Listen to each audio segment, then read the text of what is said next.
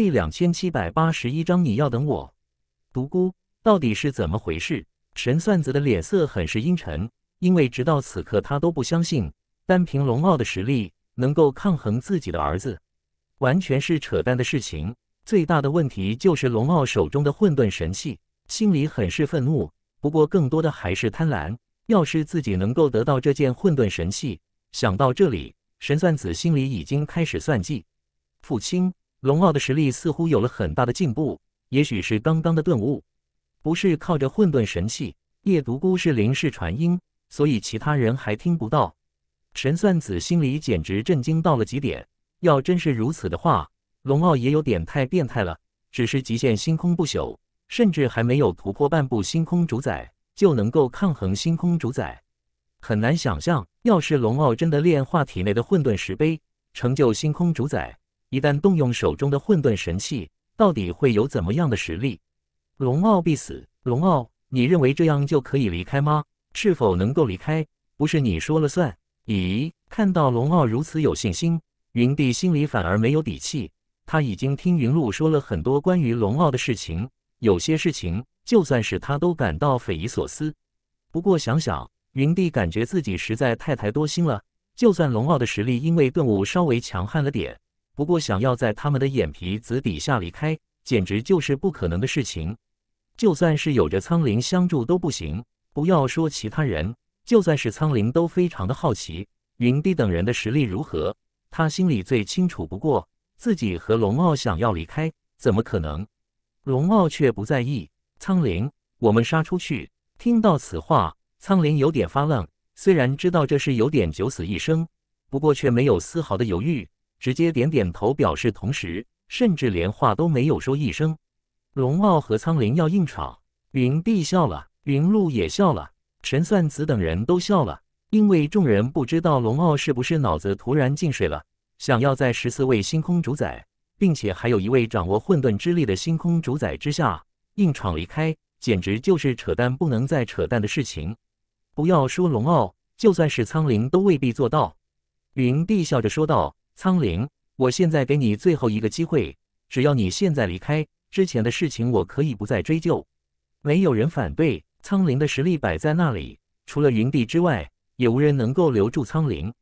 还有，刚刚云帝的话已经说得很清楚，苍灵背后还有势力，很难想象这个势力到底有多么强悍。不过，没有人愿意去招惹。至于云露等人，却没有出言劝解，因为他非常清楚父亲的意思。说到底。还是不愿意招惹苍灵，不到万不得已的情况下，父亲不愿意和苍灵背后的势力撕破脸皮。要真的那般的话，对谁都没有好处。云帝心里也很是苦闷。要是换做其他人的话，他根本不会多说半句废话，直接将对方杀了。唯独苍灵，要只是苍灵一人，哪怕苍灵已经掌握了混沌之力，为了顺利夺得两件混沌神器，其中还有一件空间混沌神器。为了这样的混沌神器，就算出手击杀苍灵都不是问题。但是结果呢？苍灵背后的家族实力实在太强悍了，要是此事处理的不好，后果不堪设想。正是因为如此，犹豫了很久的云帝，最终还是不想动苍灵，不是害怕苍灵，而是忌惮苍灵背后的势力。至于杀人灭口，他无法做到，因为想要做到这一点，首先就是要能够百分之百击杀苍灵。其次还要杀光这里的人，云露三人除外，明显有点不太可能。冷哼一声，冷冷的看着面前的众人，苍灵没有继续隐瞒，而是靠近龙傲，直接拉着龙傲的手，说道：“生是龙傲的人，死是龙傲的鬼。”这是什么意思？众人不是傻子，瞬间就已经明白了苍灵的意思，那就是不离不弃，哪怕是和龙傲死在一起，都在所不惜。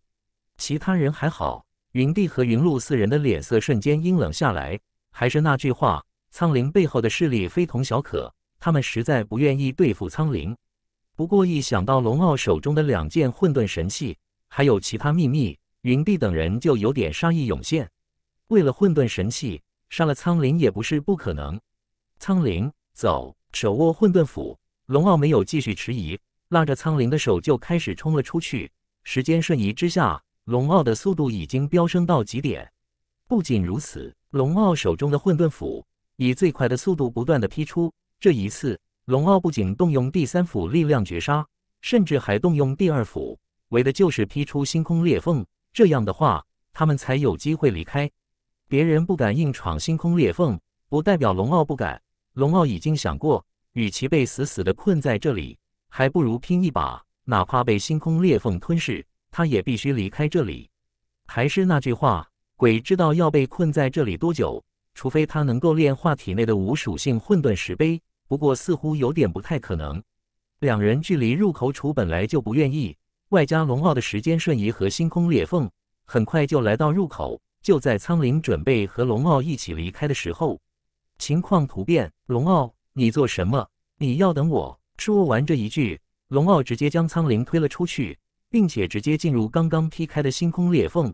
龙傲心里非常清楚，只要自己不离开这里，苍灵就不会走。在无法踏入混沌殿的情况下，苍灵很有可能陨落在这里。他绝对不能连累苍灵。不仅是苍灵，就算是云帝等人也彻底傻眼了。他们虽然知道龙傲能够破开星空裂缝，却没有想到龙傲敢踏入星空裂缝。因为星空裂缝意味着什么，他们每个人心里都无比的清楚。就算是龙傲，一旦踏入星空裂缝，也是必死无疑。龙傲的意思，众人已经清楚。虽然和龙傲是敌人，不过龙傲还是值得尊敬的。不过一想到龙傲踏入星空裂缝必死无疑，连带着两件混沌神器也会被星空裂缝吞噬，云帝四人的脸色就不太好看。第两千七百八十二章巨脸，神算子等人心里却没有多少失落。龙傲死了，龙傲终于死了。从另外一方面，神算子等人还希望看到龙傲如此陨落，这样的话，他们得不到混沌神器。云帝也同样无法得到龙傲手中的两件混沌神器，还没有等众人反应过来，被龙傲一把推出去的苍灵返回来的时候，一切都已经晚了。亲眼看着龙傲被星空裂缝吞噬，苍灵甚至也已经迈入，不过星空裂缝消失的太快，愤怒，无尽的愤怒。正是因为如此，不管后果，苍灵直接出手，哪怕今天陨落在这里，苍灵都要杀了这些人。云帝同样没有客气，因为他不杀苍灵，自己就是被杀。至于其他人，同样没有客气。苍灵的实力本身就非常强大，尤其是在这种时候，那就不用多说。以一人之力独抗十数位星空主宰，由此可以想象苍灵到底有多么的强悍。正所谓双拳难敌四手，更何况如今的苍灵已经心力交瘁，只是短短的数分钟时间，就已经开始不知起来。杀云帝等人心里想的都是同一件事，那就是斩草除根。不管苍灵背后的实力到底有多么的强悍，只要在这里击杀苍灵，那么根本无人知道。尤其是这个时候，正是千载难逢的机会。要是等苍灵恢复过来，到时候再想要击杀苍灵，那就不是那么容易的了。就在这个时候，天武大陆突然间被锁定，正准备继续出手的众人，震惊的看着面前所发生的一幕。这是怎么回事？不仅是他们，就算是已经愤怒到极点、正在狂杀的苍灵，突然间昏迷过去，不过却被锁定在半空之中。苍灵昏迷的瞬间，半空之中同时出现一张巨脸，刚毅的脸上写满了威严，给人一种缥缈无虚的感觉。神算子等人不知道是怎么回事，虽然这种事情他们也能够做到，不过能够同时锁定十四位星空主宰。其中还有一位掌握了混沌之力的星空主宰，他们肯定无法做到。面前此人到底是谁？不过众人可以肯定的是，他们所看到的肯定不是本尊。这是怎么样的实力？不敢想象。看到面前半空突然出现的巨脸，云帝和云露，甚至包括背后的云天和云鹤，全部跪了下来。四人的脸色都很苍白。神算子众人彻底震惊了。云帝的实力，他们最清楚不过。可就算是这样的存在，居然看到面前的巨脸，连说都没有说，直接跪了下来。到底是怎么回事？神算子等人有点蒙圈，傻傻的愣在原地。苍前辈，我们巨脸的脸色很是淡漠，看不出有丝毫的愤怒。巨脸冷冷地说道：“今日之事，我记下了，日后我会来找你。”前辈，巨脸无视云帝，带着已经昏迷过去的苍灵，直接消失得无影无踪。云帝的脸色很是阴沉，他万万没有想到，此人会突然出现，看来此事是麻烦大了。父亲，他为什么不杀我们？你以为他不想吗？既然想，又是为何？不仅是云露想不通，就算是云天和云鹤都同样想不通，到底是怎么回事？对于刚刚出现的巨脸到底有多么强悍的实力，他们心里最清楚不过。本尊未到，他还无法灭杀我们。云露三人当然知道父亲的意思。云露有些急不可待地问道：“父亲，那我们现在该怎么办？”哼，交代你们的事情，这么多年都无法办成，真是废物。云露三人不敢说话，不过心里却是不以为然。毕竟那件事实在太难办了，就算是他们都无能为力。要是那么容易的话，父亲早就搞定了，何必用他们等了这么多年？不过心里想归想，云露三人却不敢真的说出来。从现在开始。不管动用什么办法，我们必须搞定那件事。要是被此人提前，我们云帝说到这里，并没有继续往下说。不过话中的意思已经很明确，云露三人岂能听不懂？脸色阴沉到了极点，不敢有丝毫的迟疑，立刻起身离去。天武大陆再次恢复平静。刚刚到底发生了什么事情？以云帝的实力，居然面对巨脸直接跪了下去。要不是亲眼所见，就算打死他们都不会相信这是真的，真的难以置信。众位，我想问问，刚刚到底发生了什么事情？直到此刻，若木都有点傻眼。刚刚的一幕彻底震惊了他们，连云帝都如此，很难想象，要是此人真的本尊降临的话，那么想要灭杀他们，简直就是轻而易举的事情。本以为云帝已经是站在浩瀚星空真正巅峰的人物，不过从刚刚的一幕看。云帝根本不是，看来他们还是井底之蛙。浩瀚星空，不愧是浩瀚星空。经过这次的事情，神算子等人被彻底打击了。神算子想了想，说道：“刚刚那位前辈没有理我们，要是我的猜测没错，他应该不会找我们了。不过云露等人就麻烦了。神算子当然希望那人杀了云帝等人，毕竟云帝活着始终是一个威胁。至于实力，神算子越发的感觉到。”自己的实力放在浩瀚星空真的不算什么。先不说刚刚消失的巨脸，单单是云帝和苍灵，都不是他能够比拟的存在。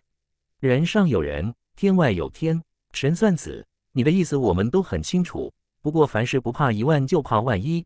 鬼知道那位前辈会不会前来找我们，所以我们必须做好准备。做准备，一个连云帝都害怕的人，他们就算做准备又有何用？很是无奈的看了众人一眼。神算子越是无奈地说道：“生死有命，要真的到了那个时候，我们也没有办法。”不知道为什么，神算子就是如此的断言。刚刚消失的巨莲肯定不会回来找他们，而是肯定会去找云帝等人。这是一种直觉，不过神算子却非常相信自己的这种直觉。事情已经如此，众人也没有多说什么，各自离开，瞬间就全部消失的无影无踪。第两千七百八十三章紫元大陆。咯吱，房门被轻轻的推开，从外面走进来一位少女，粗布粗衣，不过却非常的干净。虽然少女看上去很是过得不富裕，不过却无法掩盖少女的姿色。倾国倾城来形容少女，照样不为过。还是没有醒，双双，此人还没有醒吗？这个时候，外面走进来一名妇女，也是极其的美艳，和少女的容貌有着五六分相似。秦双双很是担心地说道：“娘，这都已经两个月了，此人还是没有清醒。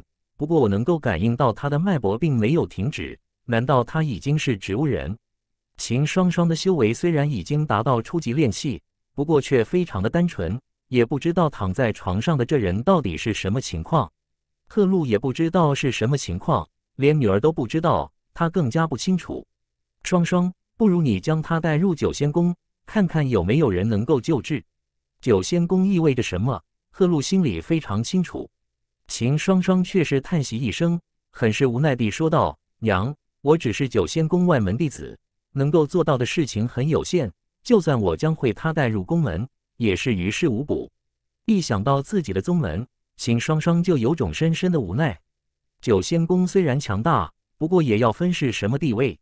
九仙宫的内门弟子，当然不用多说。只是外门弟子，对于这样的超级势力来说，实在太多太多了，多如牛毛。贺禄不知道九仙宫的事情，所以也没有多说，转身离去。不知道过了多久，龙傲感觉到自己的脑海很疼，就好像被人硬生生的剥开一般。自己肯定没有死。对于自己所拥有的九色莲花元神，龙傲非常有信心。也正是因为如此，龙傲才敢踏入星空裂缝。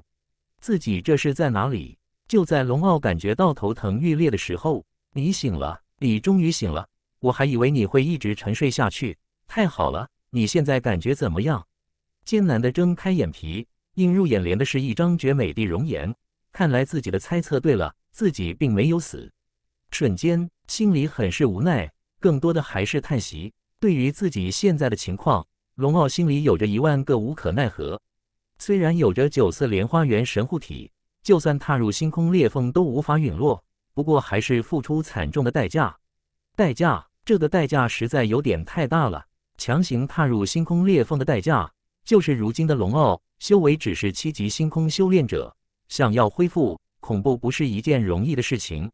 没有陨落，已经算是不幸之中的万幸。咦！突然间，龙傲发现自己身处的地方，天地灵气似乎有点太过浓厚，就算是高级位面都没有出现过如此浓厚的天地灵气。到底是怎么回事？你是何人？我叫秦双双，你呢？我叫龙傲，请问你不知道我现在身处何处？龙傲已经知道发生了什么事情，看来自己强行踏入星空裂缝，被强行传送到这里。秦双双笑了笑，说道：“这里是枫叶村。几个月前你受了重伤，被我救了回来。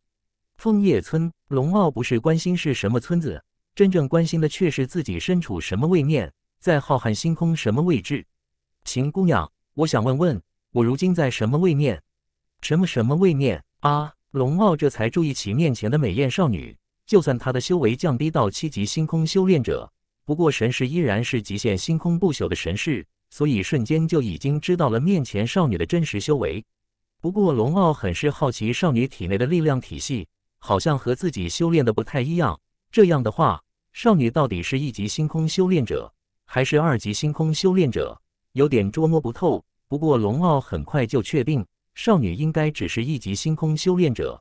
我从小到大生活的地方都很偏僻，对于这个大陆的事情不是很了解，请你给我讲讲好吗？秦双双很是善良，要不然的话，不可能救了龙傲的同时，还照顾了他数个月。要是换做其余人，相信早就选择放弃了。秦双双也没有丝毫的隐瞒，开始讲解下来。听完之后，龙傲有点震惊，因为这个位面的修炼者，居然修炼的是另外一种修炼体系，这种修炼体系被称之为修真。这到底是什么位面？单单是这个位面的天地灵气。就已经很让他感到不可思议。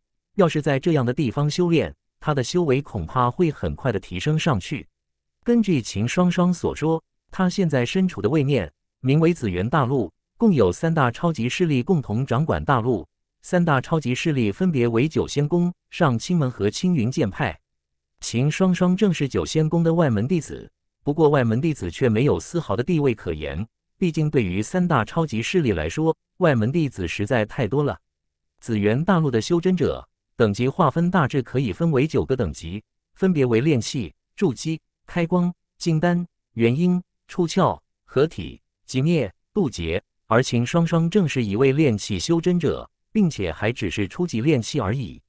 只是简单的感应之后，龙傲就已经知道，紫元大陆的修真者九大等级和修炼者的等级相差无几。只是修炼的力量不一样，也就是说，两种修炼体系一一对应。炼气对应一级星空修炼者，筑基对应二级星空修炼者，开光对应三级星空修炼者，金丹对应四级星空修炼者，元婴对应五级星空修炼者，出窍对应六级星空修炼者，合体对应七级星空修炼者，极灭对应八级星空修炼者，渡劫对应九级星空修炼者。因为自己的修为降低。如今只是七级星空修炼者，相当于修真修炼体系的合体境界。不仅如此，龙傲发现自己现在根本无法离开这个位面。要是不出意外的话，除非是自己能够突破渡劫境界，达到更高的境界，才能够离开这个位面。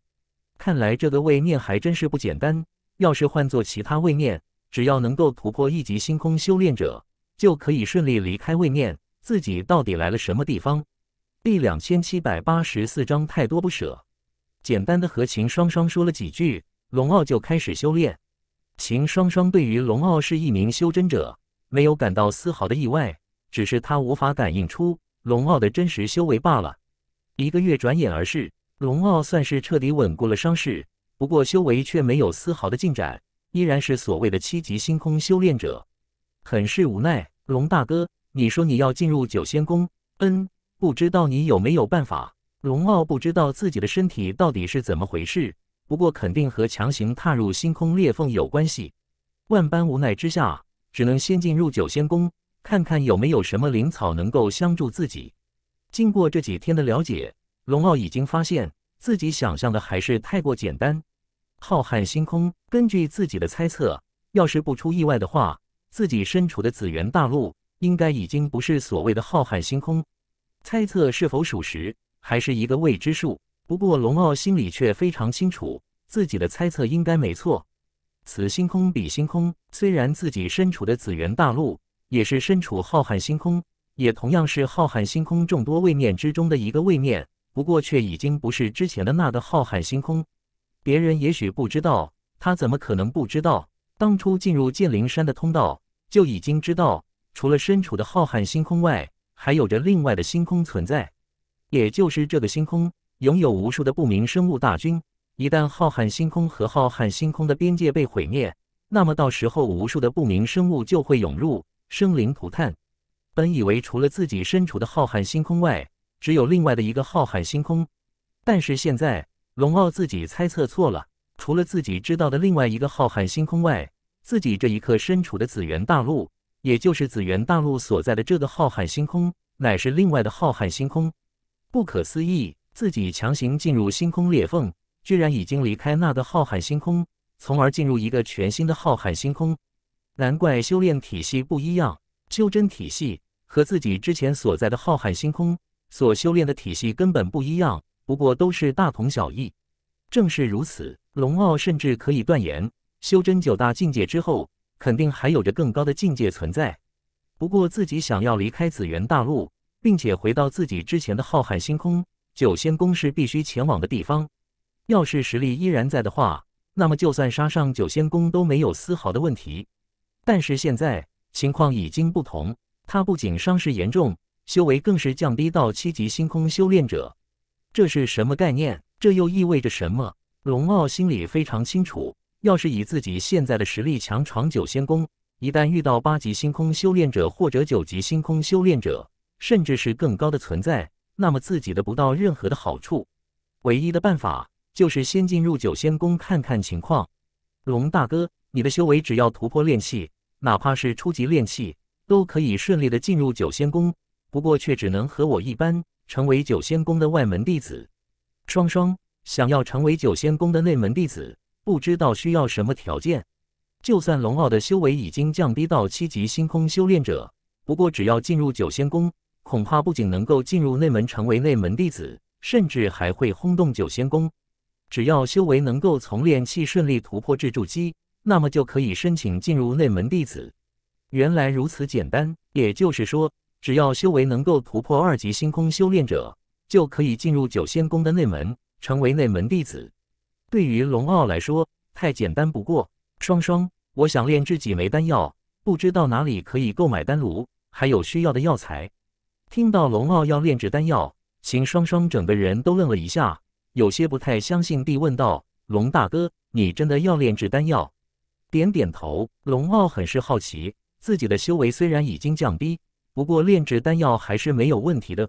不管怎么说，自己还是先要将修为尽快的恢复九级星空修炼者，甚至突破，这样的话才可以离开这个位面。他可不愿意一直待在这个浩瀚星空。毕竟之前的浩瀚星空对于他来说有着太多太多的不舍，瞬间惊喜到了极点。龙大哥，我真的没有想到你居然还是一位炼丹师。龙傲更加惊讶起来。其实龙傲并不知道，在紫元大陆，炼丹师的地位要远远凌驾于修真者之上，因为炼丹师炼制出的各种丹药实在有点太过逆天。不仅如此，炼丹师和修真者不一样，是个人理念。如果有一人可以修真的话，那么十万人之中都未必有一人可以成为炼丹师。由此可以想象，想要成为一名炼丹师到底有多么的困难。双双，炼丹师的等级是如何划分的？秦双双有些无语，因为他实在想不通。既然龙大哥是一位炼丹师，并且也是一位修真者，那么为什么对于修真者或者是炼丹师都是一窍不通？不过秦双双也没有多问。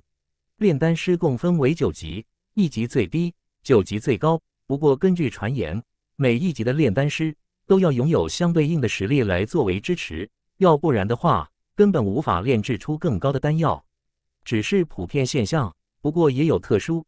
龙傲很清楚，一般情况下正是如秦双双所言。不过自己却是一个例外，就算自己现在的修为只是七级星空修炼者。不过照样可以炼制出九级丹药，甚至可以炼制出更高级的丹药。不过需要相对应的灵草。龙大哥，你是几级炼丹师？我也不知道。秦双双没有多想，因为在他看来，就算龙大哥是一级炼丹师，也可以轻而易举的进入九仙宫，并且成为九仙宫的内门弟子。龙大哥，我们所在的存在乃是隶属凤凰古城。所以，我们只要进入凤凰古城即可找到炼制丹药的丹炉。至于是否能够找到灵草，那就不得而知了。那我们现在就去凤凰古城。正准备起身前往凤凰古城的龙傲，突然看到秦双双并没有起身，就已经知道事情没有自己想的那么简单。第两千七百八十五章想通了。双双怎么了？秦双双一脸的无奈说道：“龙大哥想要进入凤凰古城。”需要接纳一颗灵石。灵石，龙傲对于灵石没有太多的概念，毕竟他醒过来一直都在修炼，所了解的事情也都是自己想要知道的。至于灵石，却从未听秦双双说起过。难道龙大哥不知道灵石？秦双双彻底震惊了，因为但凡是紫元大陆的修真者，不可能不知道灵石是什么。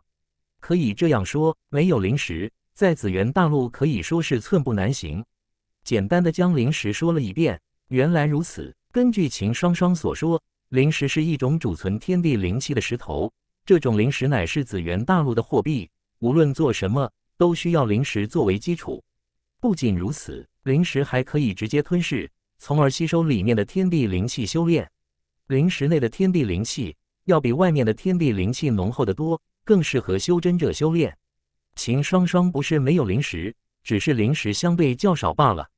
正是因为如此，秦双双才舍不得一下子损失两颗灵石。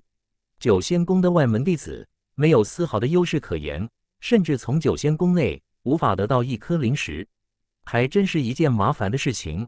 双双，你跟我走，我带你进入凤凰古城。龙大哥，我身上的灵石，不知道因为什么，秦双双突然改变主意，说道：“龙大哥，如果你真的想要进入凤凰古城看看。”我可以带你去，不过想要购买丹炉和灵草，我就没有办法了。就算是最为普通的丹炉和最差劲的灵草，都不是他能够负担起的。就算是内宗弟子，也就是筑基以上的修真者，也不是随随便便可以在凤凰古城购买东西。龙傲没有在意，拉着秦双双离开枫叶村。枫叶村距离凤凰古城不是很远，大概需要数个时辰。凤凰古城乃是整个紫元大陆最大城市之一，属于九仙宫。正如秦双双所说，想要进入凤凰古城，需要每人缴纳一颗下品灵石，而灵石又分为下品灵石、中品灵石、高品灵石和极品灵石。一般的高品灵石和极品灵石都很少见。龙大哥，你准备怎么做？直到此刻，秦双双还是不知道龙大哥到底想要如何做。毕竟购买丹炉和灵草需要很多的灵石，难道龙大哥要去抢？似乎有点不太可能发生的事情。双双，我们现在卖点东西，换取灵石之后再购买丹炉。说着，龙傲找了一个毕竟繁华的街道，从空间戒指内不断的取出各种兵器，甚至还有一些极其珍贵却用不上的灵草。当初离开天武大陆进入浩瀚星空，龙傲当然抢夺过一些灵草，还有一些强大的兵器。只是随着修为的不断提升，不管是灵草还是兵器，对自己都没有什么用处了。灵气居然是灵气，还有这些灵草，龙大哥，你到底是从哪里得到的？刚刚问出口，秦双双就知道自己失言了。毕竟有些事情不该问，就算是朋友都不能问。龙傲只是笑了笑，并没有放在心上。是谁容许你们在这里摆摊的？就在龙傲两人刚刚准备卖的时候，不远处走来两个青年，只是炼气修真者。不过两人来到龙傲面前，还没有等龙傲说话，继续说道：“按照城内的规矩，你所卖的东西必须先拿出一半，要不然就缴纳一百块下品灵石。”两人死死地盯着地上的灵气，他们也没有想到，两个乡巴佬一般的人物，居然拥有如此多的灵气。要是既能够得到一半的东西，外加一百块下品灵石，也是一件非常不错的事情。龙大哥，他们是凤凰古城的地头蛇，地头蛇岂不就是所谓的小混混？秦双双当然认识两人，两人都是凤凰古城的外门弟子，靠着家族的一点震折，两人不好好修炼。反而留在城内做起地痞流氓的勾当，两人的眼力非常的好，知道什么人该惹，什么人不该惹。本来龙傲能够一下子拿出如此多的灵气和灵草，两人还在犹豫此人到底是什么来历，是什么身份。不过一看秦双双，两人立刻没有了任何担心。滚！本来龙傲准备先进入九仙宫，然后开始炼丹，看看能不能在最短的时间内提升自己的实力。虽然他的实力大幅度降低，不过龙傲却很清楚，这是某种原因实力被强行压制。要是自己能够快速提升实力，那么随着自己的修为不断提升，体内的无属性混沌石碑恐怕也会跟着炼化。龙傲有种直觉，也让他惊喜不已。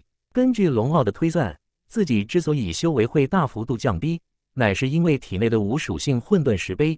也许这次对于自己来说是一个炼化无属性混沌石碑的机会，这是龙傲刚刚想到的，所以他也知道自己炼制丹药对于自己来说基本上没有多少的用处，最重要的还是尽快的开始炼化无属性混沌石碑。这样的话，不仅可以恢复巅峰时期的实力，甚至还可以更进一步，直接晋级成为星空主宰。转眼间，地上的所有东西全部消失不见。甚至没有等两人说话，龙傲就已经出手，一脚一个，直接将两人踢飞。此刻，两人才知道自己这一次算是踢到铁板了。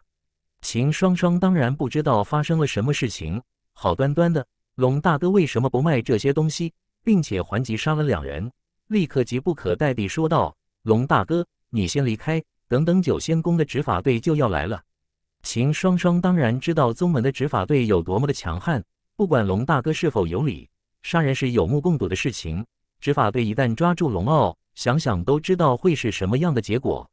龙傲笑了笑，不在乎地说道：“双双，我已经想通很多事情，所以不需要购买丹炉和灵草了。”这是什么意思？不一会的时间，十人的执法队出现，都是筑基境界。看着十人朝着自己这边而来，秦双双暗呼一声：“这次完了。”第两千七百八十六章惨叫。龙大哥，我们赶快离开这里！就在秦双双准备拉着龙傲离开的时候，情况突变，秦双双被龙傲身上突然释放出的气息震开，而这一刻的龙傲已经缓缓地闭上双眼，不知道是什么情况。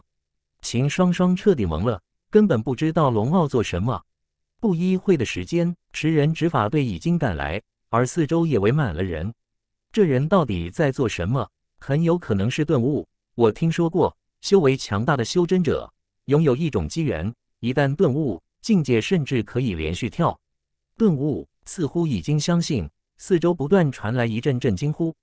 十人执法队可不管那些，龙傲两人敢在凤凰古城杀人，完全就是挑衅。无论出于什么目的，都要格杀勿论。就在十人出手碰触到龙傲的时候，瞬间被吸干。没错，十人体内的力量瞬间被吸得干干净净。啊！看到面前所发生的一幕，所有人都彻底震惊了，根本不知道发生了什么事情。不过，此人能够瞬间吸干十名执法队，本身就已经骇人听闻。龙傲依然紧闭双眼。至于到底发生了什么事情，就算是龙傲都不太明白。不过很快就知道了是怎么回事，不太愿意相信。难道这是命数？不知道该怎么办的秦双双脸色突然一变，整个人都开始强烈的颤动起来。就好像羊癫疯一般，脸上写满了痛苦。龙傲体内的无属性混沌石碑不知道是什么原因，已经漂浮而出。不仅如此，属于混沌石碑的气息直接覆盖了整个大陆，速度之快难以想象。下一秒钟，上清门、九仙宫和青云剑派的无数强者全部降临。如今的凤凰古城可以说是达到了顶峰。古兄，此人是谁？不知道。看来此人应该不是我九仙宫的人。半空之中，三名男子负手而立，看着青年，尤其是青年的黑色石碑。三人正是三大宗门的宗主，也是紫元大陆的渡劫强者，只差一步就可以达到更高的境界。哈哈哈！居然是混沌石碑，没有想到一个小小的低级仙界位面，居然存在着混沌石碑。草，混沌石碑是我的，何人敢碰？罗冲。你以为你是什么东西？混沌石碑凭什么是你的？想要夺得混沌石碑，各凭本事，魔鸡个毛！三大宗主正在看到底是发生了什么事情。不过随之远处传来无数的疯狂笑声，并且每一股气息都是无比的强悍。难道是？还没有把话说完，三人包括敢停留在半空的所有人，全部被击杀，甚至连反应的机会都没有。啊！看着九仙宫宗主和其他两大宗门的宗主全部被击杀，本来留下看好戏的众人，一个个疯狂地朝着四周而去，太可怕了！前后还不到五分钟的时间，整个凤凰古城的九天地上已经站满了人，并且随随便便的拉出一人，实力都要凌驾于渡劫之上。龙傲所在的星空名为仙界，也就是所谓的仙界星空，而仙界星空拥有无数的位面。和龙傲之前所在的浩瀚星空大同小异，除了修炼体系不一样外，渡劫一旦成功，上去便是所谓的散仙。仙界星空的修炼等级从低到高依次为散仙、人仙、地仙、天仙、金仙、大罗金仙、玄仙、九天玄仙、罗天上仙、仙君、仙王、仙皇、仙尊、仙帝、不朽仙帝、半部星空主宰、星空主宰。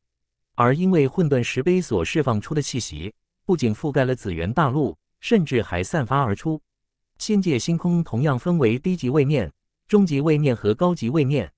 紫元大陆只是低级位面，最强大的修真者也才是渡劫，一般的就算是散仙都不愿意踏入一个低级位面。但是现在情况已经彻底不同，混沌石碑在龙傲的浩瀚星空无人知道，除了最上层的巅峰武者。不过，对于仙界星空来说，却完全是另外一个概念。仙界星空，但凡进入星空，哪怕只是最低级的散仙，都知道混沌石碑和秘境的存在。因为想要成就无上巅峰，也就是星空主宰，必须吞噬混沌石碑。混沌石碑的气息很是强大，就算很多人无法感应出来，不过还是有人感应到，并且一传十，十传百，无数的修真者蜂拥而至，无数的修仙者。其中最为强大的更是仙皇级别，至于仙尊或者仙帝，甚至更往上的不朽仙帝，不是不在乎混沌石碑，而是根本不知道此事。果然是混沌石碑，看着龙傲面前漂浮的混沌石碑，所有人直接选择无数龙傲和秦双双，因为这样的逆天宝物，不要说他们，就算是半部星空主宰，或者是星空主宰前来，都是恨不得立刻得到的宝物。看到面前的黑色石碑，果然就是传说之中的混沌石碑。已经有人忍不住快速的朝着混沌石碑而去。不过不管是谁，只要碰触到混沌石碑，立刻发出惨叫声，接着便是戛然而止，瞬间被混沌石碑吸干净。这是什么情况？明明看到前车之鉴，不过还是有人忍不住出手。要是其他东西也就算了，唯独混沌石碑，因为每个人都知道混沌石碑意味着什么。一旦能够吞噬混沌石碑，很有可能成就星空主宰。到时候仙界星空纵横，想想都感到激动不已。不过随着越来越多的人被吸干，最终还是停了下来。不过一眼望去，四周到处都是人，密密麻麻，黑压压的一片。刚刚到底是怎么回事？众人已经开始将焦点放在龙傲身上，因为每个人都不是傻子。这个青年紧闭双眼。而混沌石碑就在他的面前，难道是青年已经得到混沌石碑，如今正在炼化混沌石碑？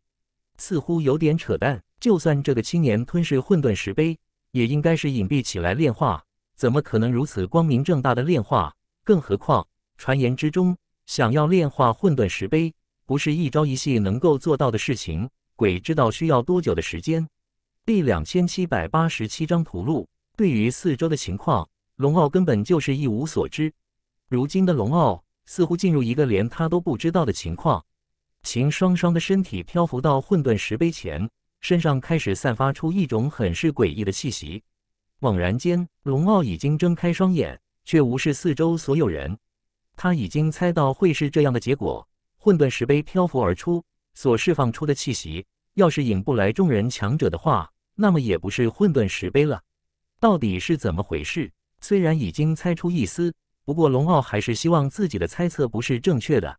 快看，四周不知道是谁传来一声惊呼，紧接着，不可思议的一幕发生：秦双双的身体被混沌石碑释放出的气息包裹，短短的数分钟时间。秦双双的身体就已经开始变化起来，混沌石碑在吞噬此人的精血，不可思议！不要说其他人，就算是龙傲已经知道是怎么回事，还是想不通为什么混沌石碑要吞噬秦双双的精血。精血启动混沌石碑，才能够开始炼化。这一刻，龙傲终于知道为什么之前自己炼化无属性混沌石碑始终无法成功，原来是因为无属性混沌石碑根本没有开启。别的混沌石碑根本不是如此，唯独自己吞噬的无属性混沌石碑。至于无属性混沌石碑为什么偏偏要吞噬秦双双的精血，直到此刻，龙傲还是一无所知。至于四周的众人却不敢乱动，刚刚所发生的一切还历历在目。混沌石碑的诱惑是大，不过和性命相比较起来，还是不够看。混沌石碑吞噬的很慢，就好像在品尝什么好东西一般。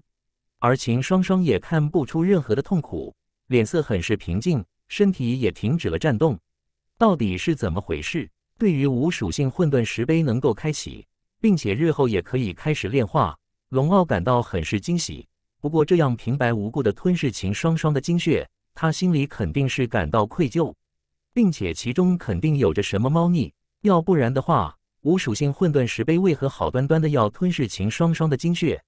就算混沌石碑吞噬精血速度慢，不过总有吞噬完的时刻。足足吞噬了数个时辰，只是开启了一半。龙傲能够清晰的感应到，自己拥有的混沌石碑只是开启了一半。要是另外一半无法开启的话，那么他日后依然无法炼化。深深的叹息一声，对于无属性混沌石碑，龙傲是一点办法都没有。要如何开启另外一半的混沌石碑？龙傲发现。虽然混沌石碑吞噬了秦双双的精血，秦双双却是一点事情都没有。还没有等龙傲和众人反应过来，事情根本没有结束。秦双双被吞噬了精血之后，整个人开始变换起来。渐渐地，秦双双的身体倒了下去，没有了丝毫的气息。龙傲根本不知道是怎么回事。虽然混沌石碑还没有全部开启，不过现在已经管不了那么多。小子，交出混沌石碑！只要不是傻子，都能够看得出来，这个青年明显得到了混沌石碑。如今的无属性混沌石碑已经重新回到龙傲的体内，不过他却轻轻地抱起秦双双，不知道为什么，他的心很疼，似乎和秦双双有着血脉相连的感觉。难道自己认识秦双双？绝对不认识。龙傲几乎可以断言，在此之前，自己绝对不认识怀里的秦双双。不过，要是没有丝毫的联系，自己吞噬的无属性混沌石碑，怎么可能吞噬秦双双的精血？甚至开启了一半的无属性混沌石碑，彻底乱了。龙傲没有就此下定论，虽然自己现在还不知道，不过他不敢确定秦双双和自己到底有没有关系。甚至龙傲怀疑秦双双和自己的前世是否有关。轮回本身就存在，无视四周所有人。如今的龙傲虽然还没有恢复极限星空不朽。不过却已经恢复了一大半，也就是达到了所谓的星空不朽。至于何时恢复极限星空不朽，那么只是时间问题而已。杀！给脸不要脸！四周无数的修仙者全部涌了上来。开什么玩笑？混沌石碑意味着每个人都非常清楚，如此逆天的宝物，恐怕没有人愿意选择放弃。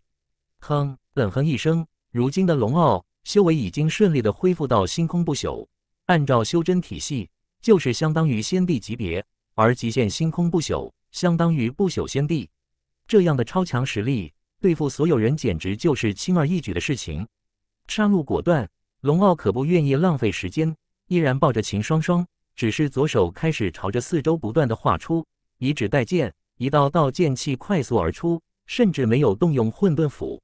操！众人心里大骂，一个个比试到了极点。就算龙傲有点实力，只是简简单单的以指代剑，就可以对抗四周的无数强者。见过狂妄的，却没有见过如此狂妄的。所有人都变得疯狂起来，其中更是有人大开杀戒，因为不管是谁，只要得到混沌石碑，就可以将其吞噬。这样的机会千载难逢，没有人愿意选择放弃。速度、实力，就在众人以为可以轻而易举的毁灭青年的时候，一切都彻底变了。接下来所发生的一幕，根本没有人能够想象得到。龙傲以指代剑，不断劈出的剑气，根本无人能敌。剑气所过之处，到处都是一片血雾，短短的数秒钟时间，四周已经有着百分之九十的人全部陨落，到处都是尸体。这是什么实力？剩下的人都彻底震惊了。生死面前，根本没有人再想着夺走混沌石碑，立刻转身离去。你为什么不逃？龙傲当然不会给这些人任何的机会。剑气纵横，但凡跑的人，全部被剑气所抹杀。唯一没有逃走的是一名魁梧大汉。龙傲神识一扫，就已经此人只是大罗金仙。陈赫被彻底吓呆了，不过很快冷静下来，小声地说道：“大人，我有办法可以让你的妻子醒过来。什么办法？”龙傲根本没有在意什么妻子不妻子，因为他总是有种感觉，秦双双和自己绝对有关系。第两千七百八十八章九转生死境。秦双双的精血已经被混沌石碑吞噬的干干净净。这一点，龙傲倒是没有丝毫的担心，因为短短的数分钟时间，龙傲已经替秦双双换了精血，没有丝毫的影响。唯独元神，这一刻的秦双双元神已经非常微弱，甚至随时都可以毁灭。龙傲只能暂时压制秦双双的元神毁灭，至于要救治秦双双，却是几乎不可能的事情。突然听到此人有办法，龙傲如何不兴奋？立刻迫不及待地问道。陈赫心中顿时一喜，看来自己这次是赌对了。要是自己也和其他人一般，立刻逃的话，那么肯定会遭受对方的灭杀，甚至没有丝毫的机会。不管怎么说，自己始终是赌对了。陈赫哪敢有丝毫的迟疑，立刻说道：“大人，在仙界星空众多仙帝之中，有着一位仙帝，手中有着一件星空神器，只要元神不灭，那么无论多重的伤势都可以恢复。”不，龙傲很是惊讶，这样的星空神器还真是逆天。秦双双的元神的确没有彻底毁灭，只是留住一丝。要是按照此人的话，岂不是可以救治秦双双？继续往下说，是陈赫的态度要多恭敬有多恭敬，因为他心里非常清楚，只要对方愿意，分分钟将他灭杀。这位先帝大人为永生先帝，手中的星空神器名为九转生死境。在哪里可以找到永生先帝？吓了一跳。陈赫虽然知道永生仙帝和九转生死境，不过想要找到此人，甚至请永生仙帝帮忙，几乎是不可能的事情。毕竟他知道的事情根本不是什么秘密，整个仙界星空的人都知道。大人，龙傲岂能不知道此人心中所想？根本不等此人所说，龙傲就已经摆摆手，说道：“只要告诉我在哪里可以找到永生仙帝即可。”是，根据传言，永生仙帝一直逗留在永生位面的永生殿之中。将确切的位面位置告诉龙傲，陈赫总算是松了口气。直到此刻，陈赫都不知道自己是否能够保住性命。毕竟这种喜欢杀戮的人，性格都是反复无常。啊！看着已经远去的两人，陈赫看着刚刚对方给自己的剑，明显是一柄仙剑，并且等级之高，他心里最清楚不过。因祸得福了，如今的龙傲已经恢复到星空不朽，当然可以随便的离开紫元大陆。仙界星空无边无际，同样是无数的位面灵力。放眼整个仙界星空，仙帝无数，不过永生仙帝却是最为强悍的仙帝之一。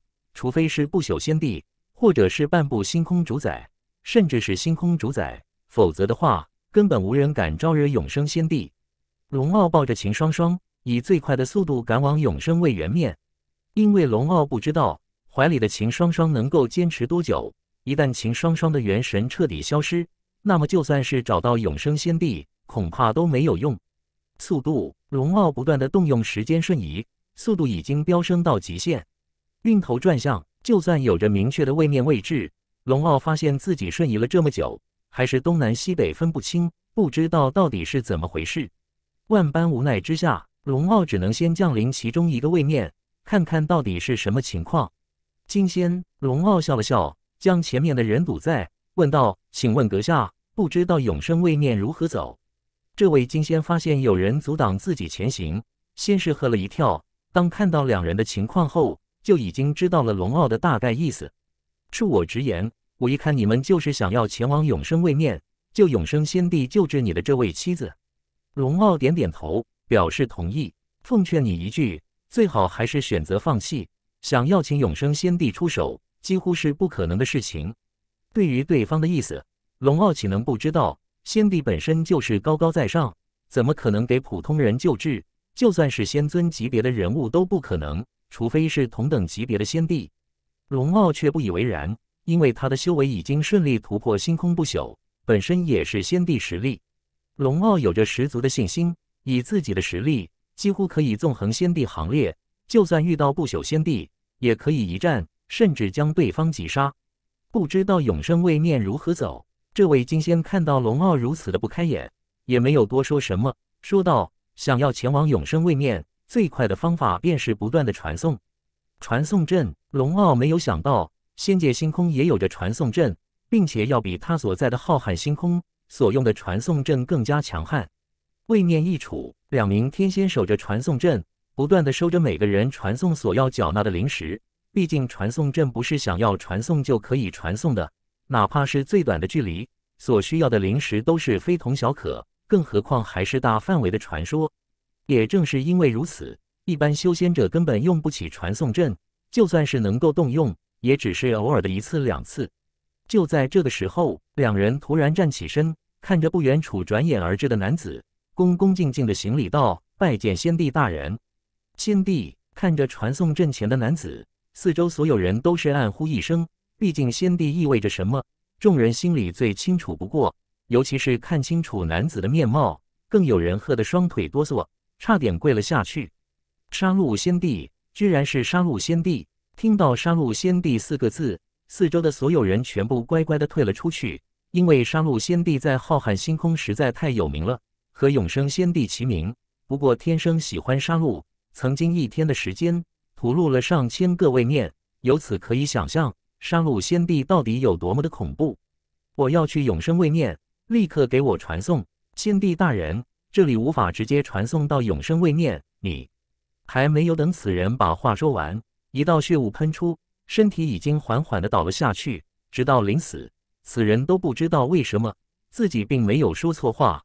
不过四周的很多人却知道，杀戮先帝要杀人，根本不需要有原因，想杀你就杀你。不管怎么说，人家的实力摆在那里。第两千七百八十九章生不如死。先帝大人，这这剩下的一人被彻底喝傻了。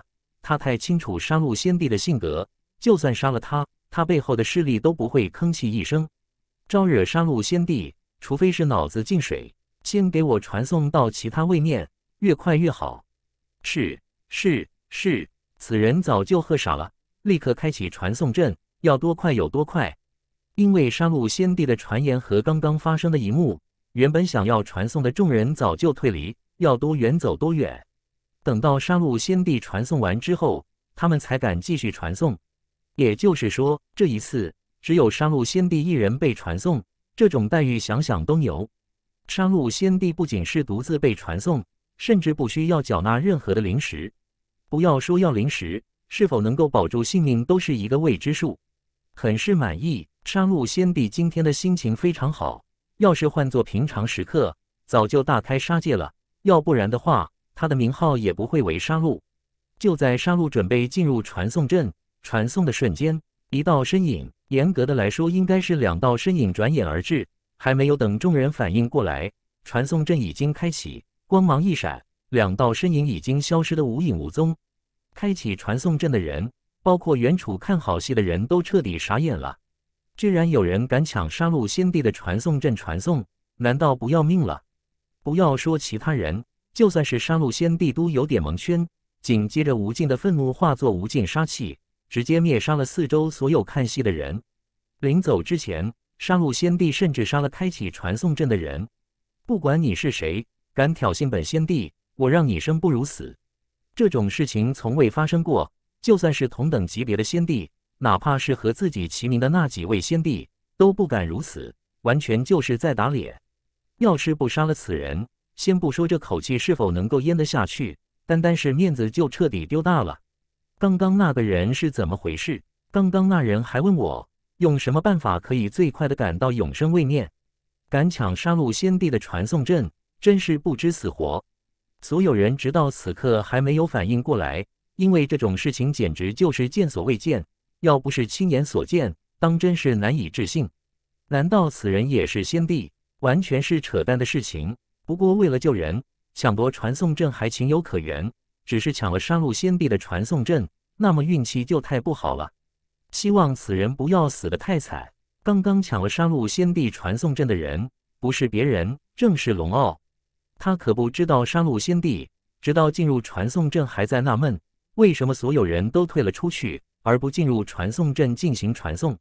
为了能够以最快的速度赶到永生位元面，龙傲可不管其他。直接进入传送阵进行传送，下一个位面龙傲刚刚被传送，立刻找到下一个传送阵，准备继续传送。根据打听到的传送和位置，他需要连续不断的传送数十个才可以顺利的抵达永生位面。时间紧迫，龙傲不知道混沌殿内的秦双双到底能够坚持多久。不过时间越快越好。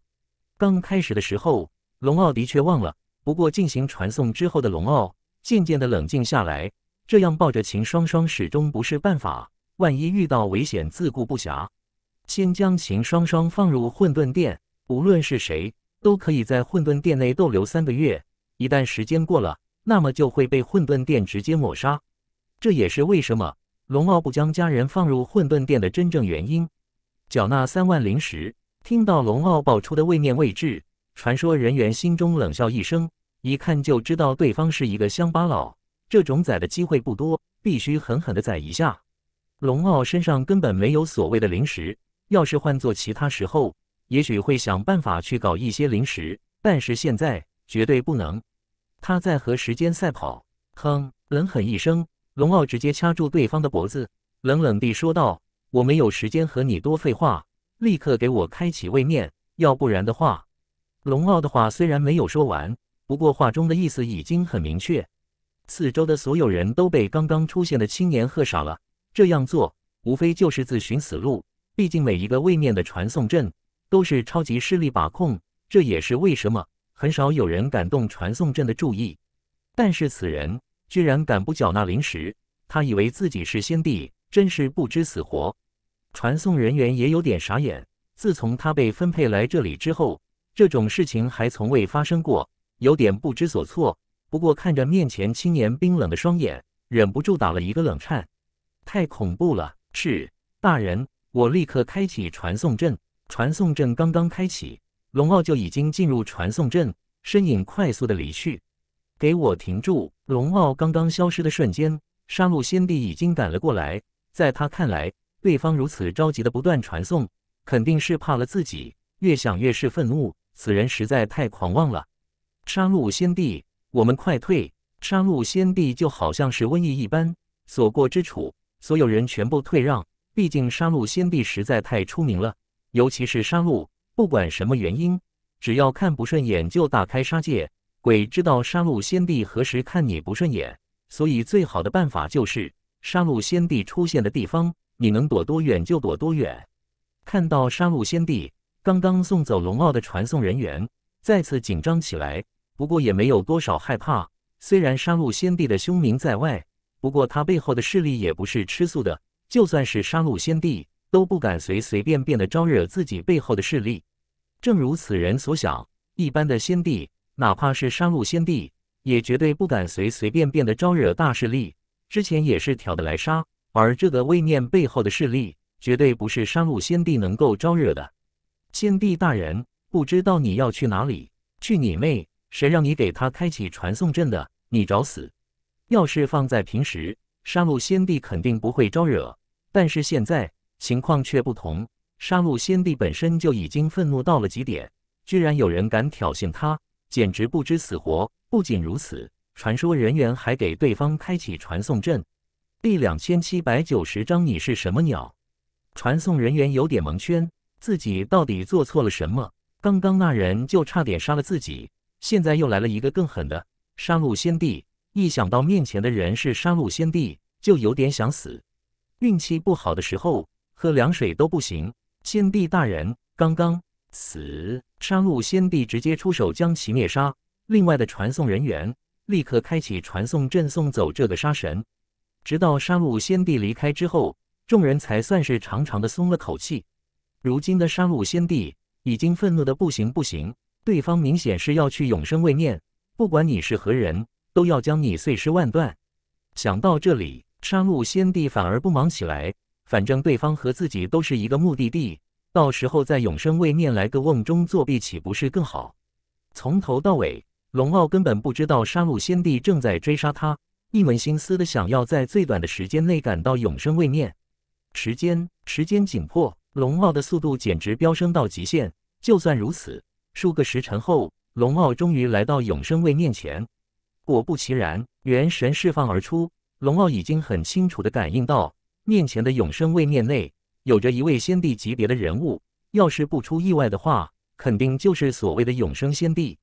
另外一面，紫元大陆出现混沌石碑的事情已经传遍了整个仙界星空。混沌石碑意味着什么？每个人心里都非常清楚，这样的诱惑绝对无人能敌。整个仙界星空彻底轰动。每个人都在寻找龙傲的踪迹，哪怕是先帝、不朽先帝，甚至半部星空主宰这样的人都已经全部出动。为了一面混沌石碑，付出任何的代价都可以。看着面前的永生位面，龙傲没有丝毫的犹豫，不管永生先帝是否愿意出手，他都要一试。一步跨出，龙傲的身影已经进入永生位面，好浓烈的天地灵气！龙傲心里叹息不已，仙界星空的天地灵气。要远远凌驾于自己所在的浩瀚星空之上，难怪这里的人实力普遍要更高一些。星空，星空，星空。经过之前剑灵山通道，还有如今仙界星空的事情，龙傲几乎可以断言，不止三个浩瀚星空，肯定还有着其他的浩瀚星空。难道浩瀚星空和位面一般，有着无数的浩瀚星空灵力？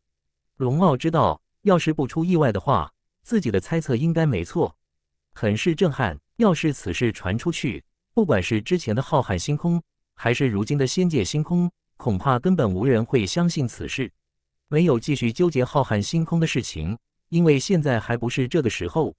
哼，我就不相信追不上你！龙傲刚刚踏入永生位面，甚至还没有来得及去找永生先帝，外面就快速而来一男子，不是别人，正是追杀而来的杀戮先帝。你是何人？龙傲不问还好。这一问，在杀戮先帝看来，对方明显是故意挑衅自己。这么多年来，还从未有人敢如此挑衅自己。好，很好，非常好。看着愤怒不已的男子，龙傲彻底蒙圈了，不知道对方到底是什么意思。不过对方却是杀戮先帝，龙傲到时候有点小心。虽然他的修为已经顺利的恢复星空不朽，也相当于先帝境界，不过面前的此人实力明显非常强悍。尤其是他还不知道这个浩瀚星空的修仙实力。凡事小心，小心驶得万年船。你到底是何人？连我是谁都不知道，竟然敢挑衅我！你真的很是狂妄！滚开！龙傲根本不想和眼前人多说废话。就算面前男子的实力不错，他也没有时间。毕竟秦双双的元神越来越弱，鬼知道何时就会彻底消失。他必须在最短的时间内找到永生先帝。龙傲心里越来越感觉到，这个秦双双和自己有着莫大的关系，只是自己现在不知道罢了。谭兄，这里是永生位面，不如给我个面子，如何？就在杀戮先帝准备出手的时候，一名老者突然出现。龙傲几乎不用猜测，就已经知道突然降临的老者是何人，肯定就是自己这次前来找的目标——永生先帝。哼，此人一而再、再而三的挑衅我。我今天要是不灭了他，我就不是杀戮先帝。杀戮先帝，杀戮先帝是个什么鸟？龙傲故意如此，直到此刻他都不知道自己到底哪里招惹了这位杀戮先帝。不过对于永生先帝，龙傲却是有种看不透的感觉。难道永生先帝已经？永生先帝永远都是笑眯眯的样子，笑着说道：“谭兄，难道这个面子你都不愿意给我？南宫颖，你我多年交情，你却在这里和我作对，你到底是什么意思？”看到永生先帝一直在替对方说话，杀戮先帝彻底怒了。他本身朋友就很好，永生先帝算是一个朋友，这次也是专门而来和这个好朋友坐坐，却没有想到永生先帝会如此。还没有等永生先帝说话，龙傲已经很不耐烦地说道：“我不管你是什么鸟，你最好现在给我闭嘴，否则的话，我不介意将你直接抹杀。”杀戮先帝能够成为先帝。本身要是极其聪明的人，虽然他看不透对方的实力，还以为对方是修炼了什么强大的隐藏功法。现在对方明明已经知道了自己的身份，居然还敢如此挑衅，那就只能说明一点：对方的实力可能要凌驾于自己之上。永生却没有丝毫的意外，点点头说道：“如此年纪轻轻就能够突破先帝境界，日后必定可以成就不朽先帝。先帝，对方只是先帝。”杀戮先帝当然不会去怀疑永生先帝的话，因为他非常清楚永生先帝的本事。既然永生先帝说对方是先帝，那么对方肯定就是先帝。对方要是所谓的不朽先帝，自己也许还会忌惮三分，从而选择离开。不过对方却只是先帝，同级别之中只有少数的几人能够让自己忌惮。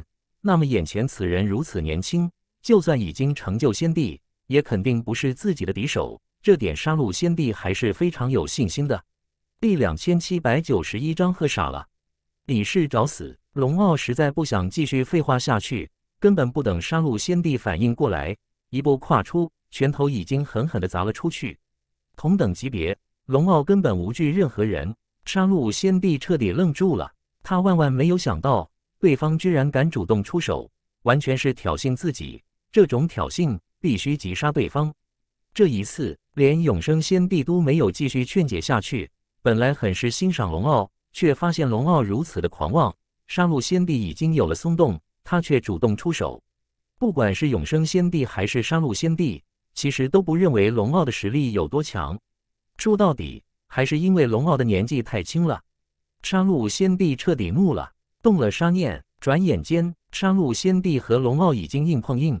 你用拳头，我也动用拳头，瞬间。两人的拳头就已经狠狠地碰撞在一起，轰的一声，杀戮先帝被龙傲一拳直接击飞，吓了一跳。永生先帝万万没有想到，龙傲的实力居然如此强悍，只是随随便便的一拳，居然直接击飞杀戮先帝。他非常清楚杀戮先帝的实力到底有多么的强悍，龙傲却没有丝毫的留情，对敌人永远要狠，斩草除根。阁下何必如此？永生先帝终于出手了。不过龙傲却没有因为有求于永生先帝，从而有丝毫的留情。以指代剑，龙傲朝着杀戮先帝直接划了出去。就算明明知道永生先帝已经出现在面前，龙傲照样还是划了出去。星空裂缝，不管是杀戮先帝还是永生先帝，看着四周出现的星空裂缝，两位先帝彻底震惊了。不过这个时候，永生先帝所展现出的实力远远超出先帝范围。果不其然，龙傲没有丝毫的意外，因为他已经猜出永生先帝的修为已经顺利突破，达到了所谓的不朽先帝。阁下，请住手！龙傲根本不惧永生先帝，就算永生先帝的修为已经顺利的突破不朽先帝，你居然能够破碎星空！杀戮先帝彻底喝傻了。刚刚要不是永生先帝出手，相信现在的他已经被星空裂缝吞噬，难以置信。直到此刻。两位先帝还是想不通，龙傲到底是如何做到的。不管是龙傲之前所在的浩瀚星空，还是如今的仙界星空，根本无人能够破碎星空，哪怕是星空主宰都做不到。龙傲是唯一一个可以破碎星空的人。阁下到底是何人？看到对方无视自己，杀戮先帝没有丝毫的愤怒。要是换做之前，早就出手了。龙傲，你是永生先帝，龙兄，你要是不嫌弃的话。可以叫我的名字南宫颖。龙傲笑了笑，说道：“南宫兄，我有位朋友受了极重的伤势，元神随时都可能消失，所以我希望你能够救治他。没有丝毫的感到意外。永生先帝当然知道自己所拥有的星空神器到底有多么的逆天，只要元神不灭，就可以救治恢复如初。一般人，永生先帝根本不会救治，毕竟浩瀚星空，要是每个人都求他，而他也必须出手救治的话，那么他肯定已经累死了。我先看看。龙傲从混沌殿内轻轻地抱出秦双双，不知道为什么，一看秦双双，龙傲的心就有种说不出来的感觉。就好像认识了无数年一般，这种感觉说不起道不明。看到龙傲怀里少女的伤势，南宫颖的脸色瞬间难看起来，一步来到龙傲面前，就已经抓住秦双双的脉搏，脸色越来越凝重，精血已经被全部吞噬完，现在的精血是刚刚重生，元神几乎已经消失了百分之九十九。南宫影其实没有说完，如今的秦双双已经到了九死一生，随时都有可能元神毁灭。到时候连进入轮回的机会都没有，怎么样？难道连南宫影都没有办法？看到一脸凝重的永生先帝，龙傲心里咯噔一下。不管付出多少的代价，他都要救治秦双双。龙兄，我的九九转生死境虽然可以救治一切伤势，就算是只剩下一丝元神都没有问题。不过恕我直言，这位姑娘是不是转世之身？转世之身，我不知道，你如何确定？南宫兄的本领大得很，他说这位姑娘是转世之身，就一定是转世之身，这点毫无疑问。无是杀戮先帝，不过龙傲也没有多少怀疑，毕竟南宫隐墨有必要欺骗自己。